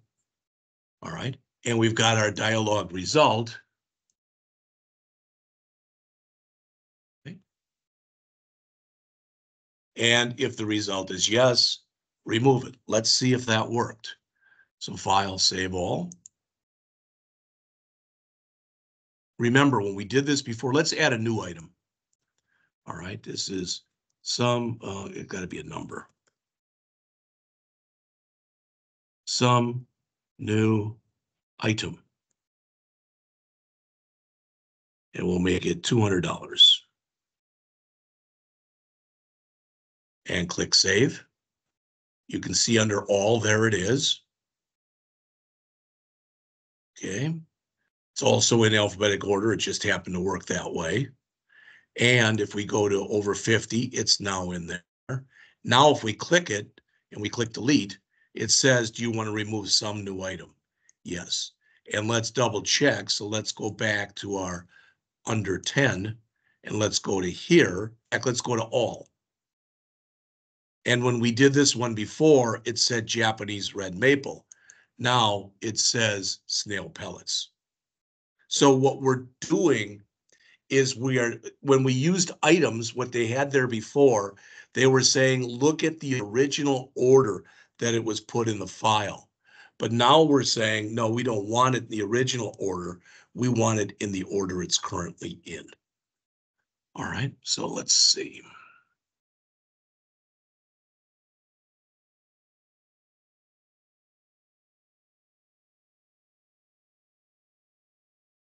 Yep, we did all this. Run the app.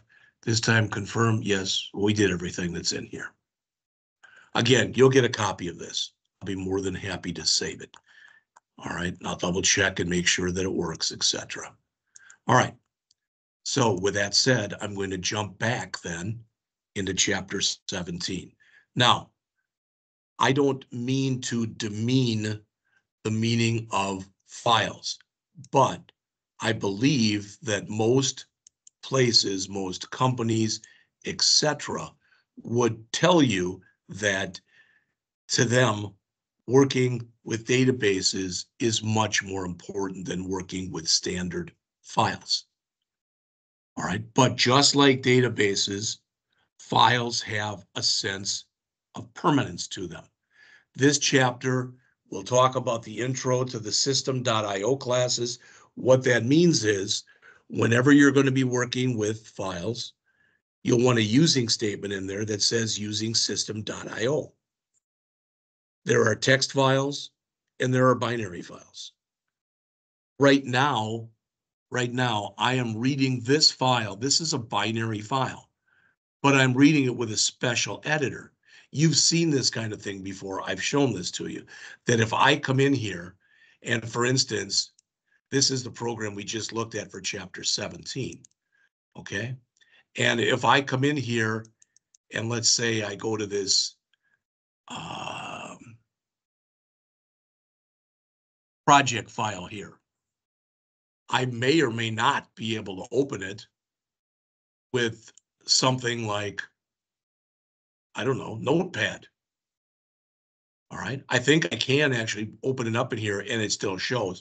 But, and again, you've seen this kind of thing before. Here is a we're going to talk about this, but this is going to be our portfolio project. If I try opening this one up and I open that one up in Notepad, it looks like a bunch of garbage because this is a binary file. So it's meant to be read in a particular editor. All right. When you work with text files, non-binary, which is what most of this chapter is about, you can read those with a regular text editor. All right, so that's what, what we're going to talk about first, and a couple pages that talk about the binary. All righty. So as it says in this chapter, you learn how to work with file input and output, also known as file IO, within the confines of text files and binary files. It says text files are preferred whenever possible. They're more portable and they're less platform dependent. In other words, you should be able to read a text file in any editor, you should be able to read a text file on any platform. So whether whether if you created uh, one here and I wanted to go and use it, but I wanted to use it in um, on a Linux machine or on a Mac or whatever, it should still work just fine. That's what they're talking about. Okay. So as it says, the system.io namespace has a bunch of stuff for working with these. All right, let's take a look at the examples. Hopefully, looking at these, most of them make sense. Directory, as it says, allows you to run the, the basic operations on a directory. A directory is the same thing as a file folder. All right, so if I right mouse click in here and I choose, uh, uh, actually, if I do it from here, and I just come in there and do, you know, whatever, like control panel or whatever in here. All right. There is a list of all the different folders, etc., that I have in here. So a directory is a folder. A file is, you know, these directories hold either other directories or they hold files. All right. The way that you get to something that's in a directory is by using its path. So again, if you look in here, just as an example, if I take this file and I right mouse click on it and I go to properties, it shows in here, here's the path to that file. It is C colon backslash users backslash JP Scott backslash desktop. That is the path to the file that is called portfolio project semesters 01 or 02 dot doc right there. All right. So when you want to work, again, typically with text files, these are what you're going to be using. Now, when you work with a directory, you better make sure the directory exists before you try to do manipulations in there. So the exist does that. It returns a Boolean, meaning that if you give it a path, if that directory exists, it'll return true. If it doesn't exist, it'll return false. If it returns false, you can always create a directory. If you want to get rid of a current directory, you can do that. But notice when you use just delete, the directory must be empty. If it has things in it, you must use a recursive direct uh, delete, which means create everything right underneath there and everything right underneath there and everything right underneath there, etc. So these are some of the methods that you'd use working with files. Check to see whether or not a file exists. Be able to delete a file, copy a file from the source to the destination, or move a file from the source to the destination. When you look at the code examples in here, notice how they set the directory up. And then they're saying if for some reason it didn't work, try to create it. Or if it doesn't exist, create it. And then they use some of the, the different uh, file methods in here also. Again, you will be using the using system.io when you're working with files. There'll be different things that we're going to use when we start to work with databases. All right. Now, whether you work with a text file or you work with a binary file, you use something called a file stream. All right. The difference between these is if you look at that second paragraph and the third paragraph here, it says when you work with a text file, all the data is stored as text characters, just strings. There's nothing special to them. There's no data types associated with them. But when you work with a binary file, there are data types associated with them. What does that mean? That means that if I am in here, all right, if I am in here, a simple text editor like Notepad, and it, if it encounters something like a tag for bolding, it doesn't understand what that means. Or italicizing or underlining, etc. It doesn't get what any of that stuff means. But if I go into a, an editor, Microsoft Word, it'll understand what those things all mean. Now, it mentions here to handle the input output operations, it uses streams. As it says, think of this as flowing from one location to another. So an output stream could flow from example from a hard drive to your screen or from your screen to a hard drive, either way. When you work with text files, you use text streams. When you work with binary files, you use binary streams. All right, it's just what does the thing understand? All right. Now, the, the, the, example they give here isn't a great example because this is a binary file, but you can still read most of it. Sometimes you can. Sometimes if you bring up a binary file in a regular text editor, you can read some, most, sometimes just about all of it. All right. But here they, they distinguish between text files and binary files. All right. The key thing is right down here that when you're working with text files, you use what's called a stream reader or a stream writer. And if you're working with binary files, you use a binary reader or a binary writer. Both of them use a file stream. But again, stream reader and stream writer for text files, binary reader and binary writer for binary files. All right. So how do you use this? All right. There's different ways, good, bad, or indifferent, because as time has gone on, all right, C sharp has changed what you can do and tried tried in their way to make it easier than the way it used to be. Now, you may or may not agree with that when you take a look at it. You may look at that and say, well, that isn't easier, it's harder. All right, but you can do it the old way or the newer ways if you want. Now, notice it says there file mode enumeration. All right, that can only be used if you if you got a file open for writing. Append means literally, I boy, this is the the olden days, and I don't know how many of you either have ever seen a record or have played a record, but the olden days, you know, when we had our albums, let's say I wanted to listen to song five, I had to take the the needle basically either listen to the first four songs or take the needle and move it over to the fifth song. Why am I telling you that? Well, just like a needle there, there's something called a file pointer. And it shows you where you are. All right. It, it shows you where you are in the file. So at the beginning, the file pointer will be at the beginning. When you use a append, it takes the file pointer and it moves it to the end so that if you try to enter some more information in, it gets entered on the end. All right.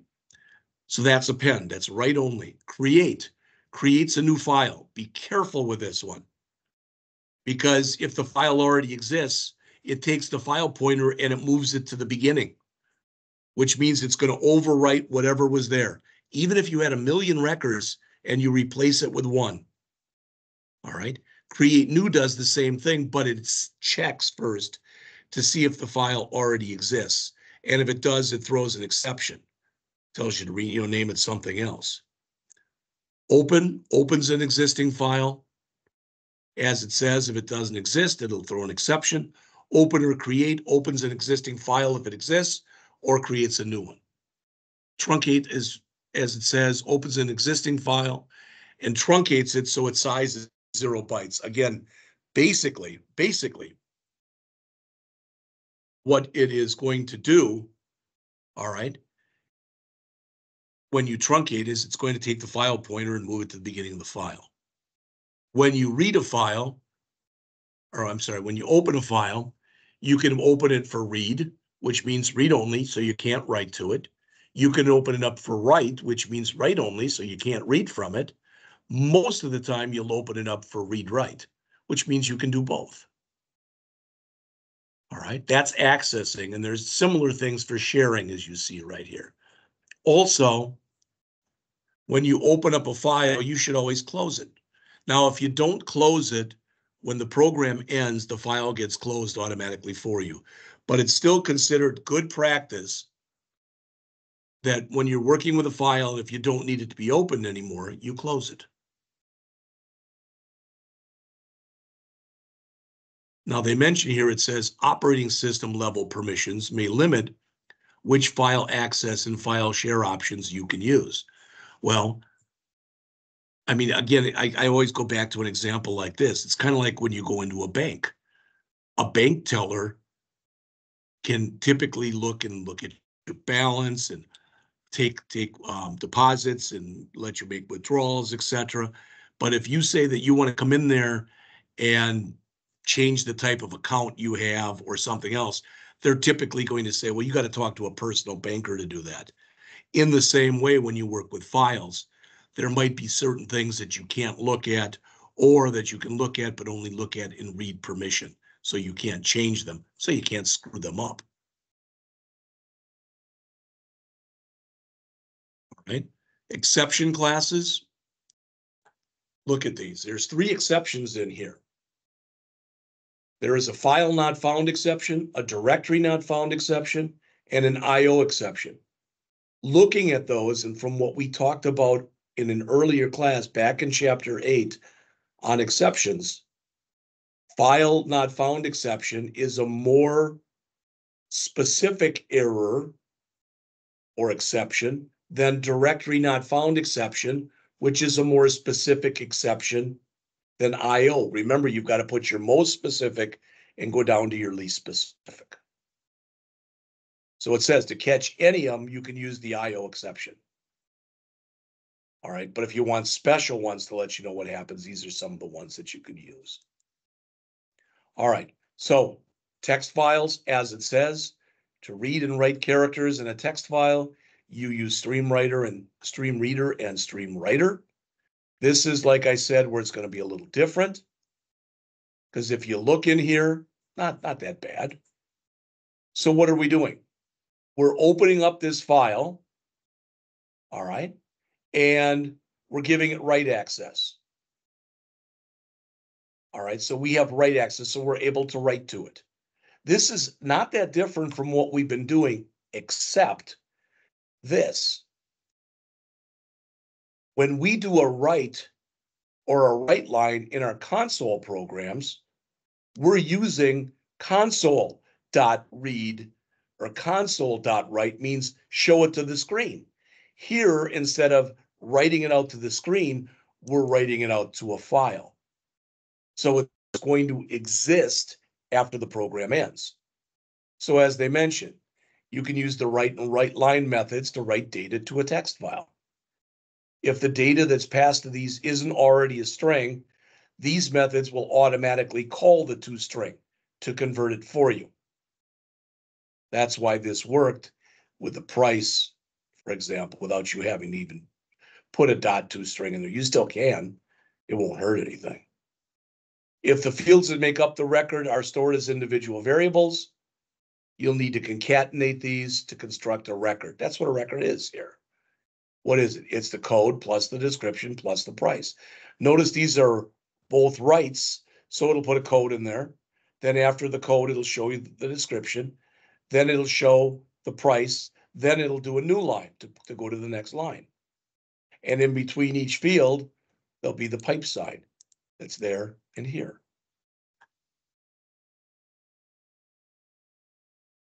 That's writing to read. You use the stream reader read methods. You notice there's several of them. Peek is a look ahead function. It looks at the next character.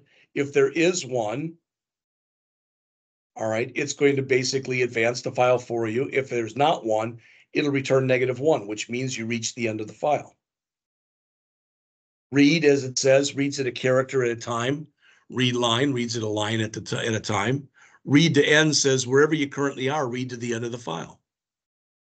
And we already talked about close. All right. So it's very similar to the example we just looked at, except rather than, than writing, we're reading.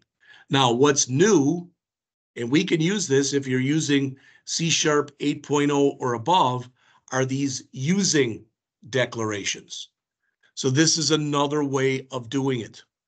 And there's really two of them. This is the using statement. Everything is all within here.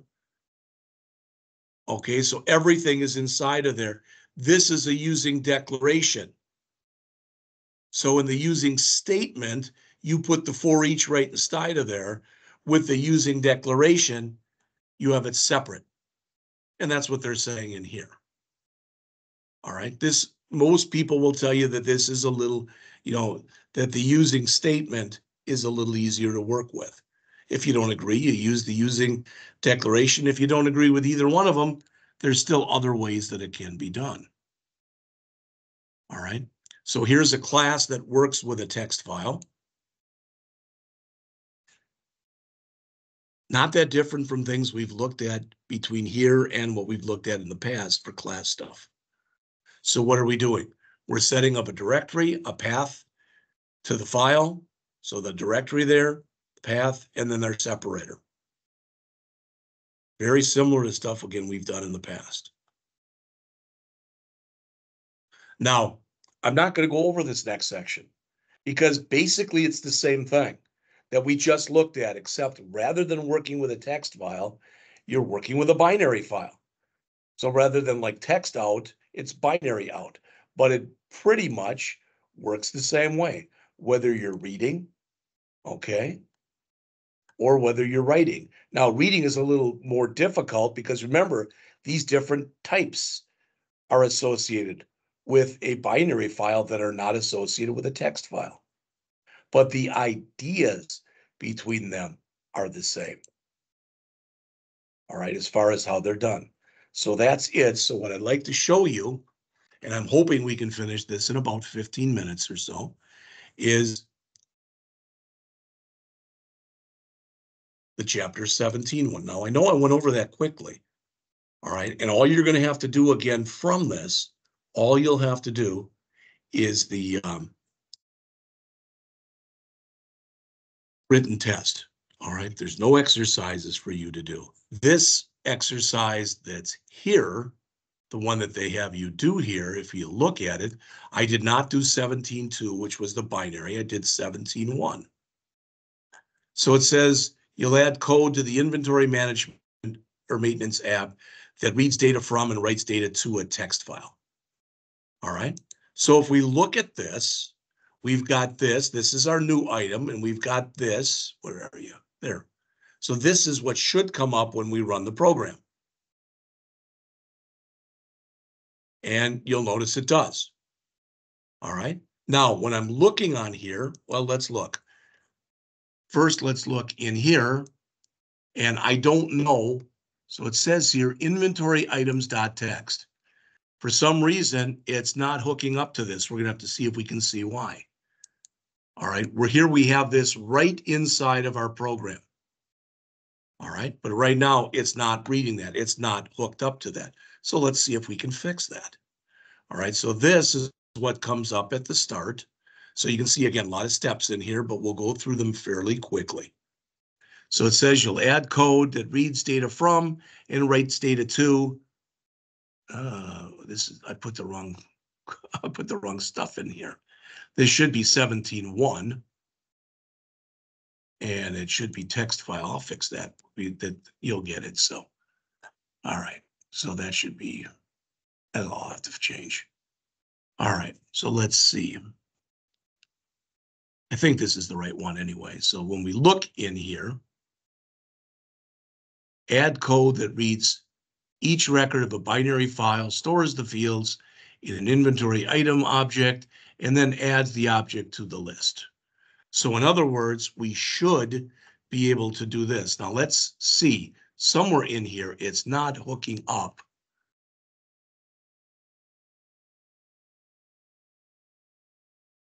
So here we're creating a new item. All right. So let's go back. I'm going to not try to confuse you here, but give me a second. So let me grab this. These are all of our steps here.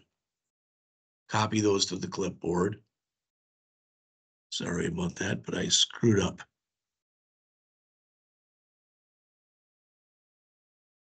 All right. That's the one we just did.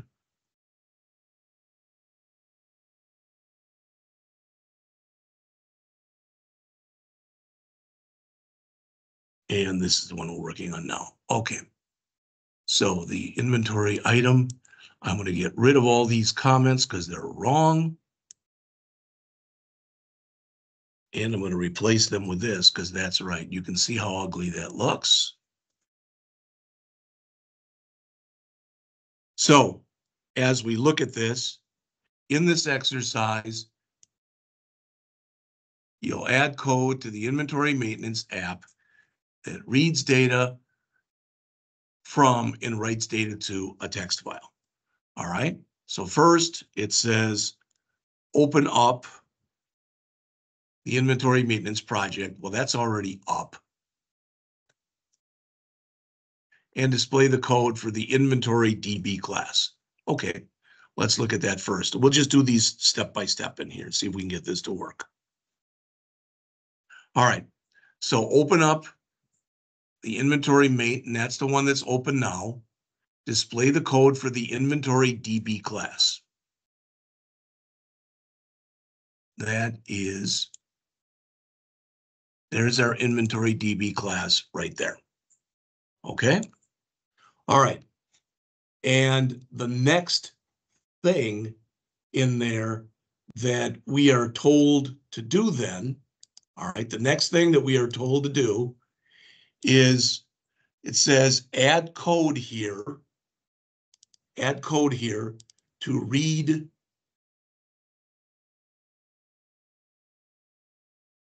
add code here to read the text file into the list inventory item. Okay, so here's our path. we don't have a delimiter right now, so we have to let it know. So I'm gonna say private const string delimiter. And that was the pipe sign. All right, so we're letting it know that that, that should be equals. So that's what we're putting in between each thing that's in there. All right. So we've got our get items, we create the list. Now it says here, add the code to read the text file into here. Okay, fine. So we will create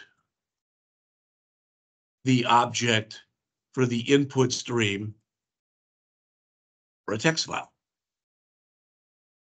All right, so using stream reader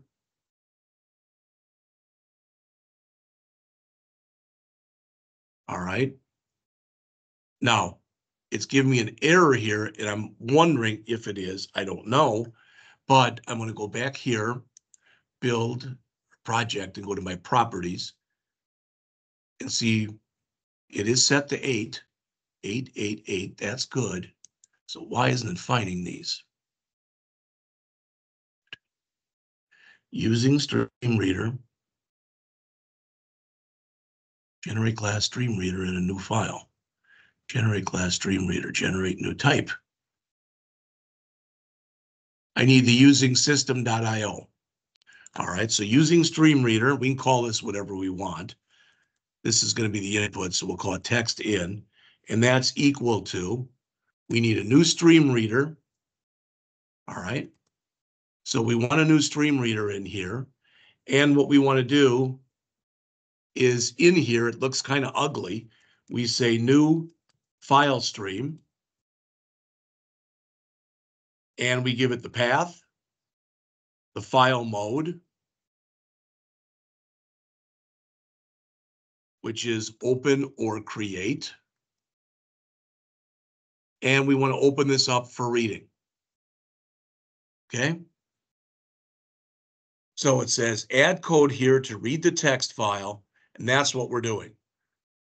We are creating a new stream reader and we are wrapping inside of that stream reader a new file stream reader that's going to show the path that we set here.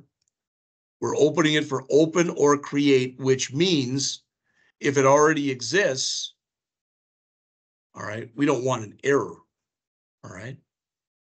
And we're opening it up with read permission. All right. We're not done though. Next, we want to read the data from the file and store it in the list. All right. So while text in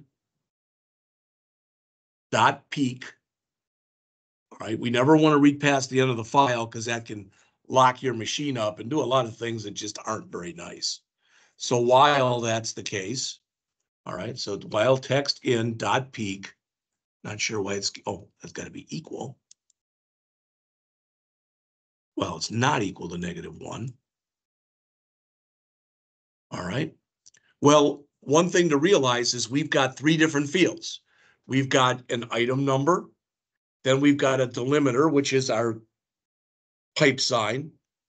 Then we've got the description, then another delimiter, then the price. All right, so we're gonna set up a row. So this will be each record in here.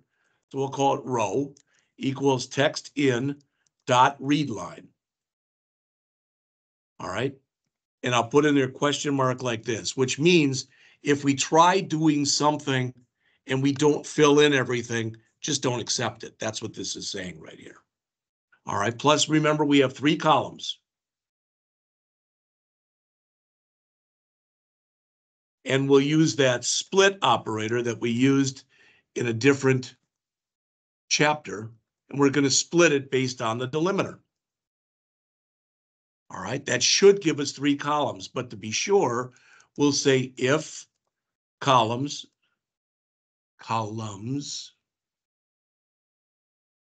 dot length is equal equal to three, then we did it right. We've got something for everything. So our item number is equal to convert dot to int thirty-two columns zero. It's the first thing that we put in there. All right. Not sure why it's, let's see. Oh, okay. It's equal to three. I'm, we want to say inventory item equals new, a brand new. Okay. And now inside of here is where we'll want to fill this thing up.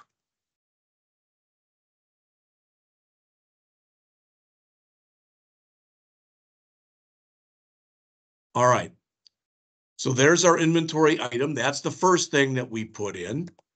Then the second thing we put in is the description. And then the third thing that we put in is the price. And we want to convert that to a decimal, not to an int.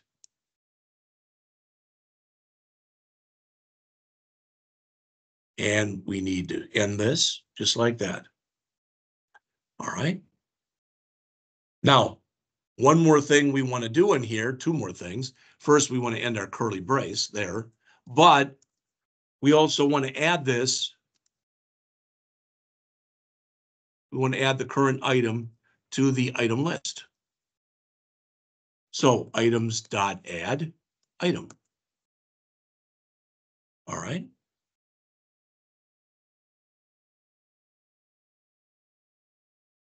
That's part of it. So let's see what else do we have to do in here. All right, so we did that. Next.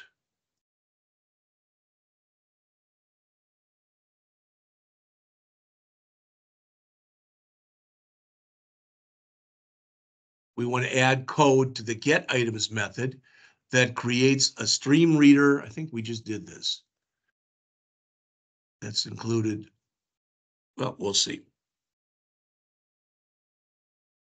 When we do this, the path constant should be set already. Says the file should be opened if it exists or created if it doesn't exist, and it should be open for reading only. I think we just did that.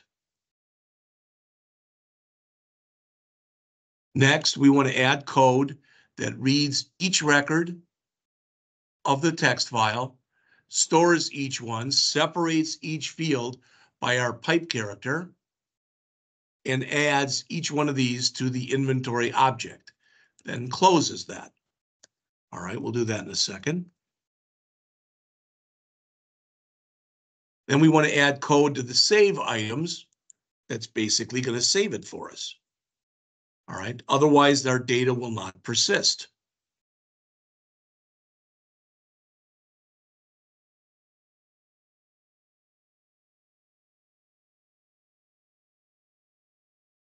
Next. As it says, we want to add code that writes each inventory item object in the list to the text file and separates each one with a pipe character, then close the stream reader object. After we do all that, we want to make sure that we didn't break anything, so we want to make sure it works. Then we want to update the get items and the save items to use the declarations to automatically close the stream reader and stream writer objects and then delete the statement that explicitly closes those. All right. Finally, test the app to make sure it works correctly. Well, some of this I've already done. Since we came in here and we set this thing up, all right, let's just see what else we have to do. All right, so in our delete, there's our add. All right, and let's go in here now because we've got to do stuff in the save and we have to do stuff in the cancel. Cancel's probably done, but I don't think the save is totally done yet. All right, so. All right.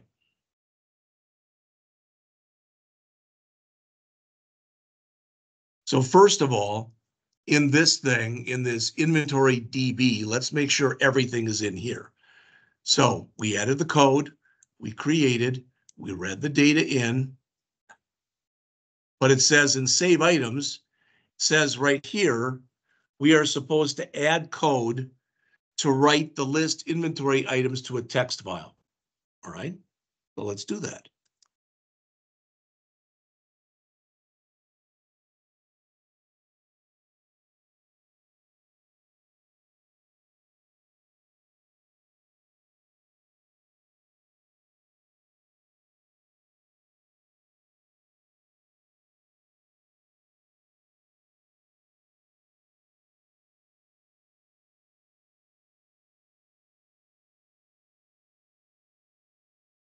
I'm gonna put this on multiple lines. That's usually how you see it, so.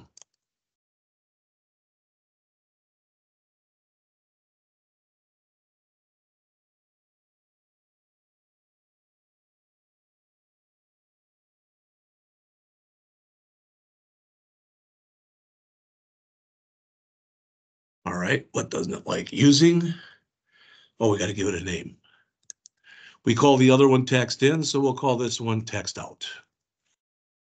All write. Equals new file stream. And we've got path, file mode create, and well, that's spelled wrong.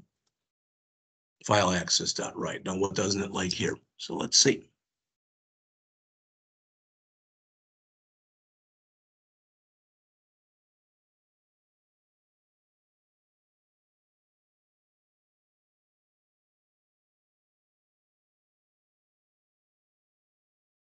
Very similar to what we did before, but before we opened up a stream reader with our path and we gave it read access.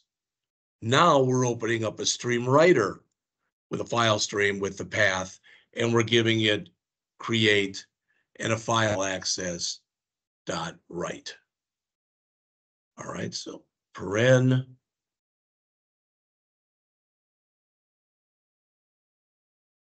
Don't know why that print is there. There we go. So that's everything that's there. Now we have to write out each item.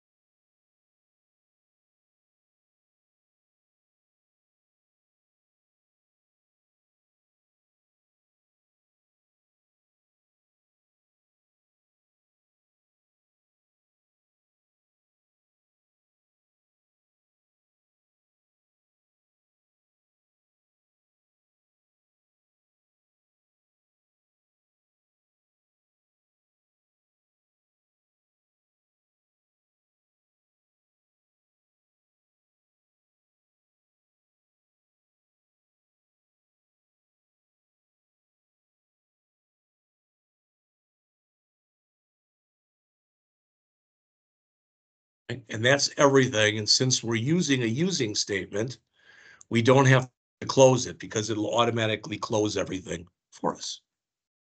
All right, so that's that. I think we're finished with this. Let's look in here. So this is in our new item.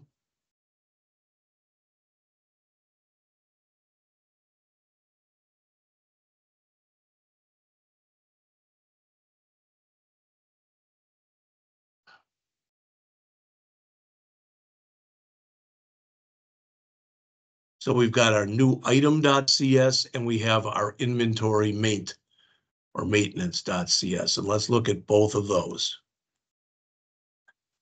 All right. I'm just looking to see if it's, if it's, if there's anything in there that it's telling us to do that we're not doing. I don't see anything in there. Notice we're using the validator class in here. All right. And finally, let's look at the inventory maintenance in here and make sure there's nothing in there.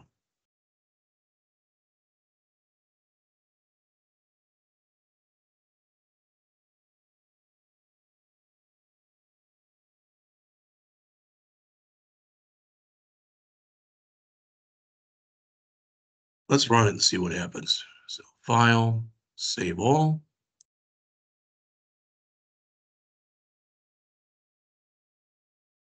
Well, that's good.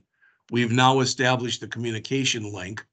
So it is literally reading, I'm gonna stop this. It is literally reading now from this file, right there. All right, and to prove that to you, I'm gonna run this and I'm gonna add two new items.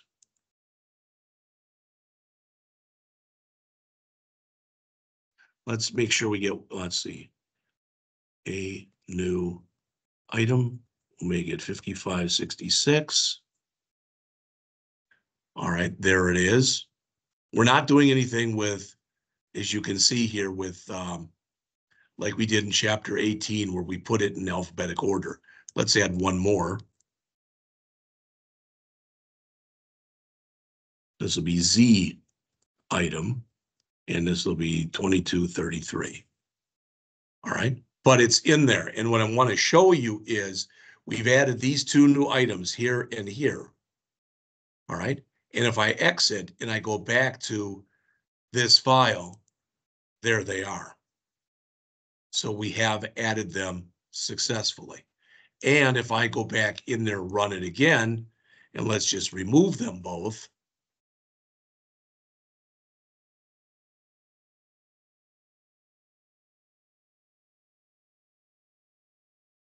And now you'll notice if we go back and look at the file again, they're both gone. All right, so you will get this. I'm going to save this. Right now, I've got a folder called EE 17-18. All right, and I will save that at the end of class. All right, I'm just about finished. Last thing is, you are going to get sent this today, which is not there. Remember now, in the homework, you only have to do the first two. Just do the letters that we did as a class and the photos we did as a class. I will be responsible for as soon as I can doing the bank login enhanced. All right. All right. Uh, that I don't want to go through now, so let's. Your labs, oh crud, I have to find it. Your labs for chapter eighteen or the homework for chapter eighteen. I am going to send that out to you today. I was trying to clean this up before and guess I moved it.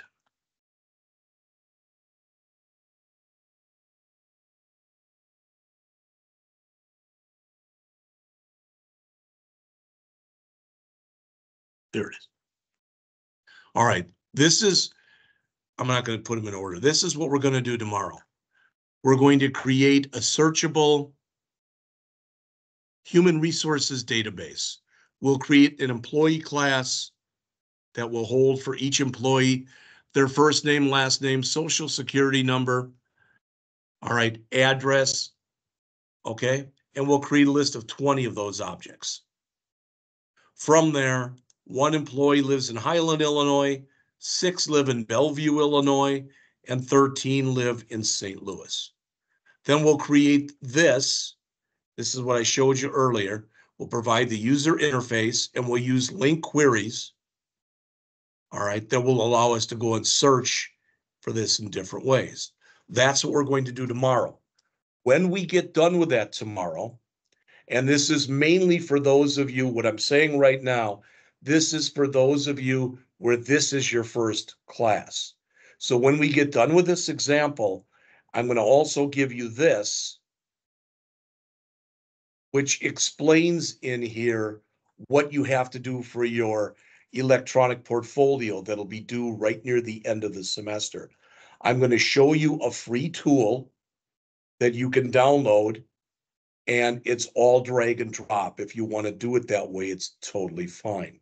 I'm also going to show you tomorrow how to take that and put it out both on GitHub pages and out on Netlify.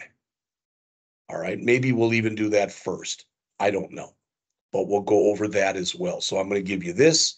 I'm gonna hand out, I'm gonna put in, in the email I send out later today.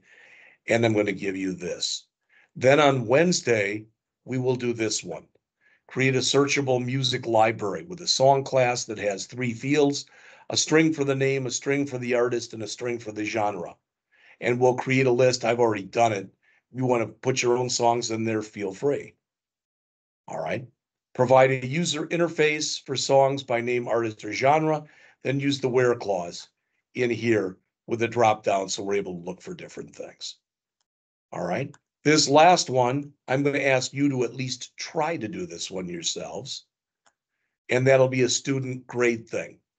You should be able to build this interface with very little problem. It's similar to ones we've done before, but I'll want you to come in here and use LINQ as they're shown right there. All right, I might give you some hints on that a little bit later. So the plan is, we've now lectured on 17 and 18. Tomorrow, we will do two things. We will go over your end of the semester elect electronic portfolio, and we will do the first problem on here as a class. Sorry, the second problem. This employee search, which will be a console app. Wednesday, the only thing I have planned is to do this. If it takes us two hours, we're done at ten thirty. Thursday will be lab for the entire period. There are no classes Friday due to the Good Friday observance. And this work, these three problems, along with the written test for chapters seventeen and eighteen, will be due by midnight Sunday, the seventh. That's gonna get us through this week. Then next week, we'll start the database portion of the class. I do want you to know that next week, we will, you know, it, it'll probably be again that I lecture on Monday, Tuesday, and Wednesday. And then, um, or Monday, Wednesday, Monday, Tuesday, Wednesday, Thursday, and Friday will be a lab. But then we've got like three or four weeks left. All right. And I'm only going to lecture Mondays and Tuesdays. Um, that's what I plan on doing. And then the rest of the time, we'll, we'll give you time to work on your homework. I will take through Thursday, our last day is the third, so through Thursday, the second, I will take late work. Most of it you'll only be out, you know, only be eligible for fifty percent. But again, fifty percent is fifty percent better than zero percent. All right, last thing then, that's this here. So this is where we are. We did seventeen and eighteen today. We'll do a LINQ practice tomorrow and we'll do our, in fact, we'll, Uh, the other order. So we will do the e-portfolio instructions, demo, and then we'll go in and do that one LINQ practice. We'll do the other one of three on Wednesday. Thursday will be a lab. And next week, like I said, but notice in here, I, I don't, I don't want to do it like this. What I want is I want this to be a lab. And I want this to be a lab. All right, and then the same thing here.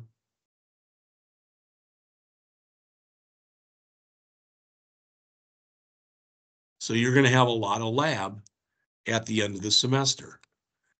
Okay? We will be working on a project together when we get to chapter twenty. And then I'm going to ask you to create your own similar project to that. All right, and then that'll be it. All right, so I'll send out this updated rest of semester schedule and I'll send out the uh, sheet for the electronic portfolio and I'll send out your homework sheet in just a little bit after I get done with this. That's all I have for today, so I'll see you at eight oh five tomorrow. Have a good rest of the day. Thanks.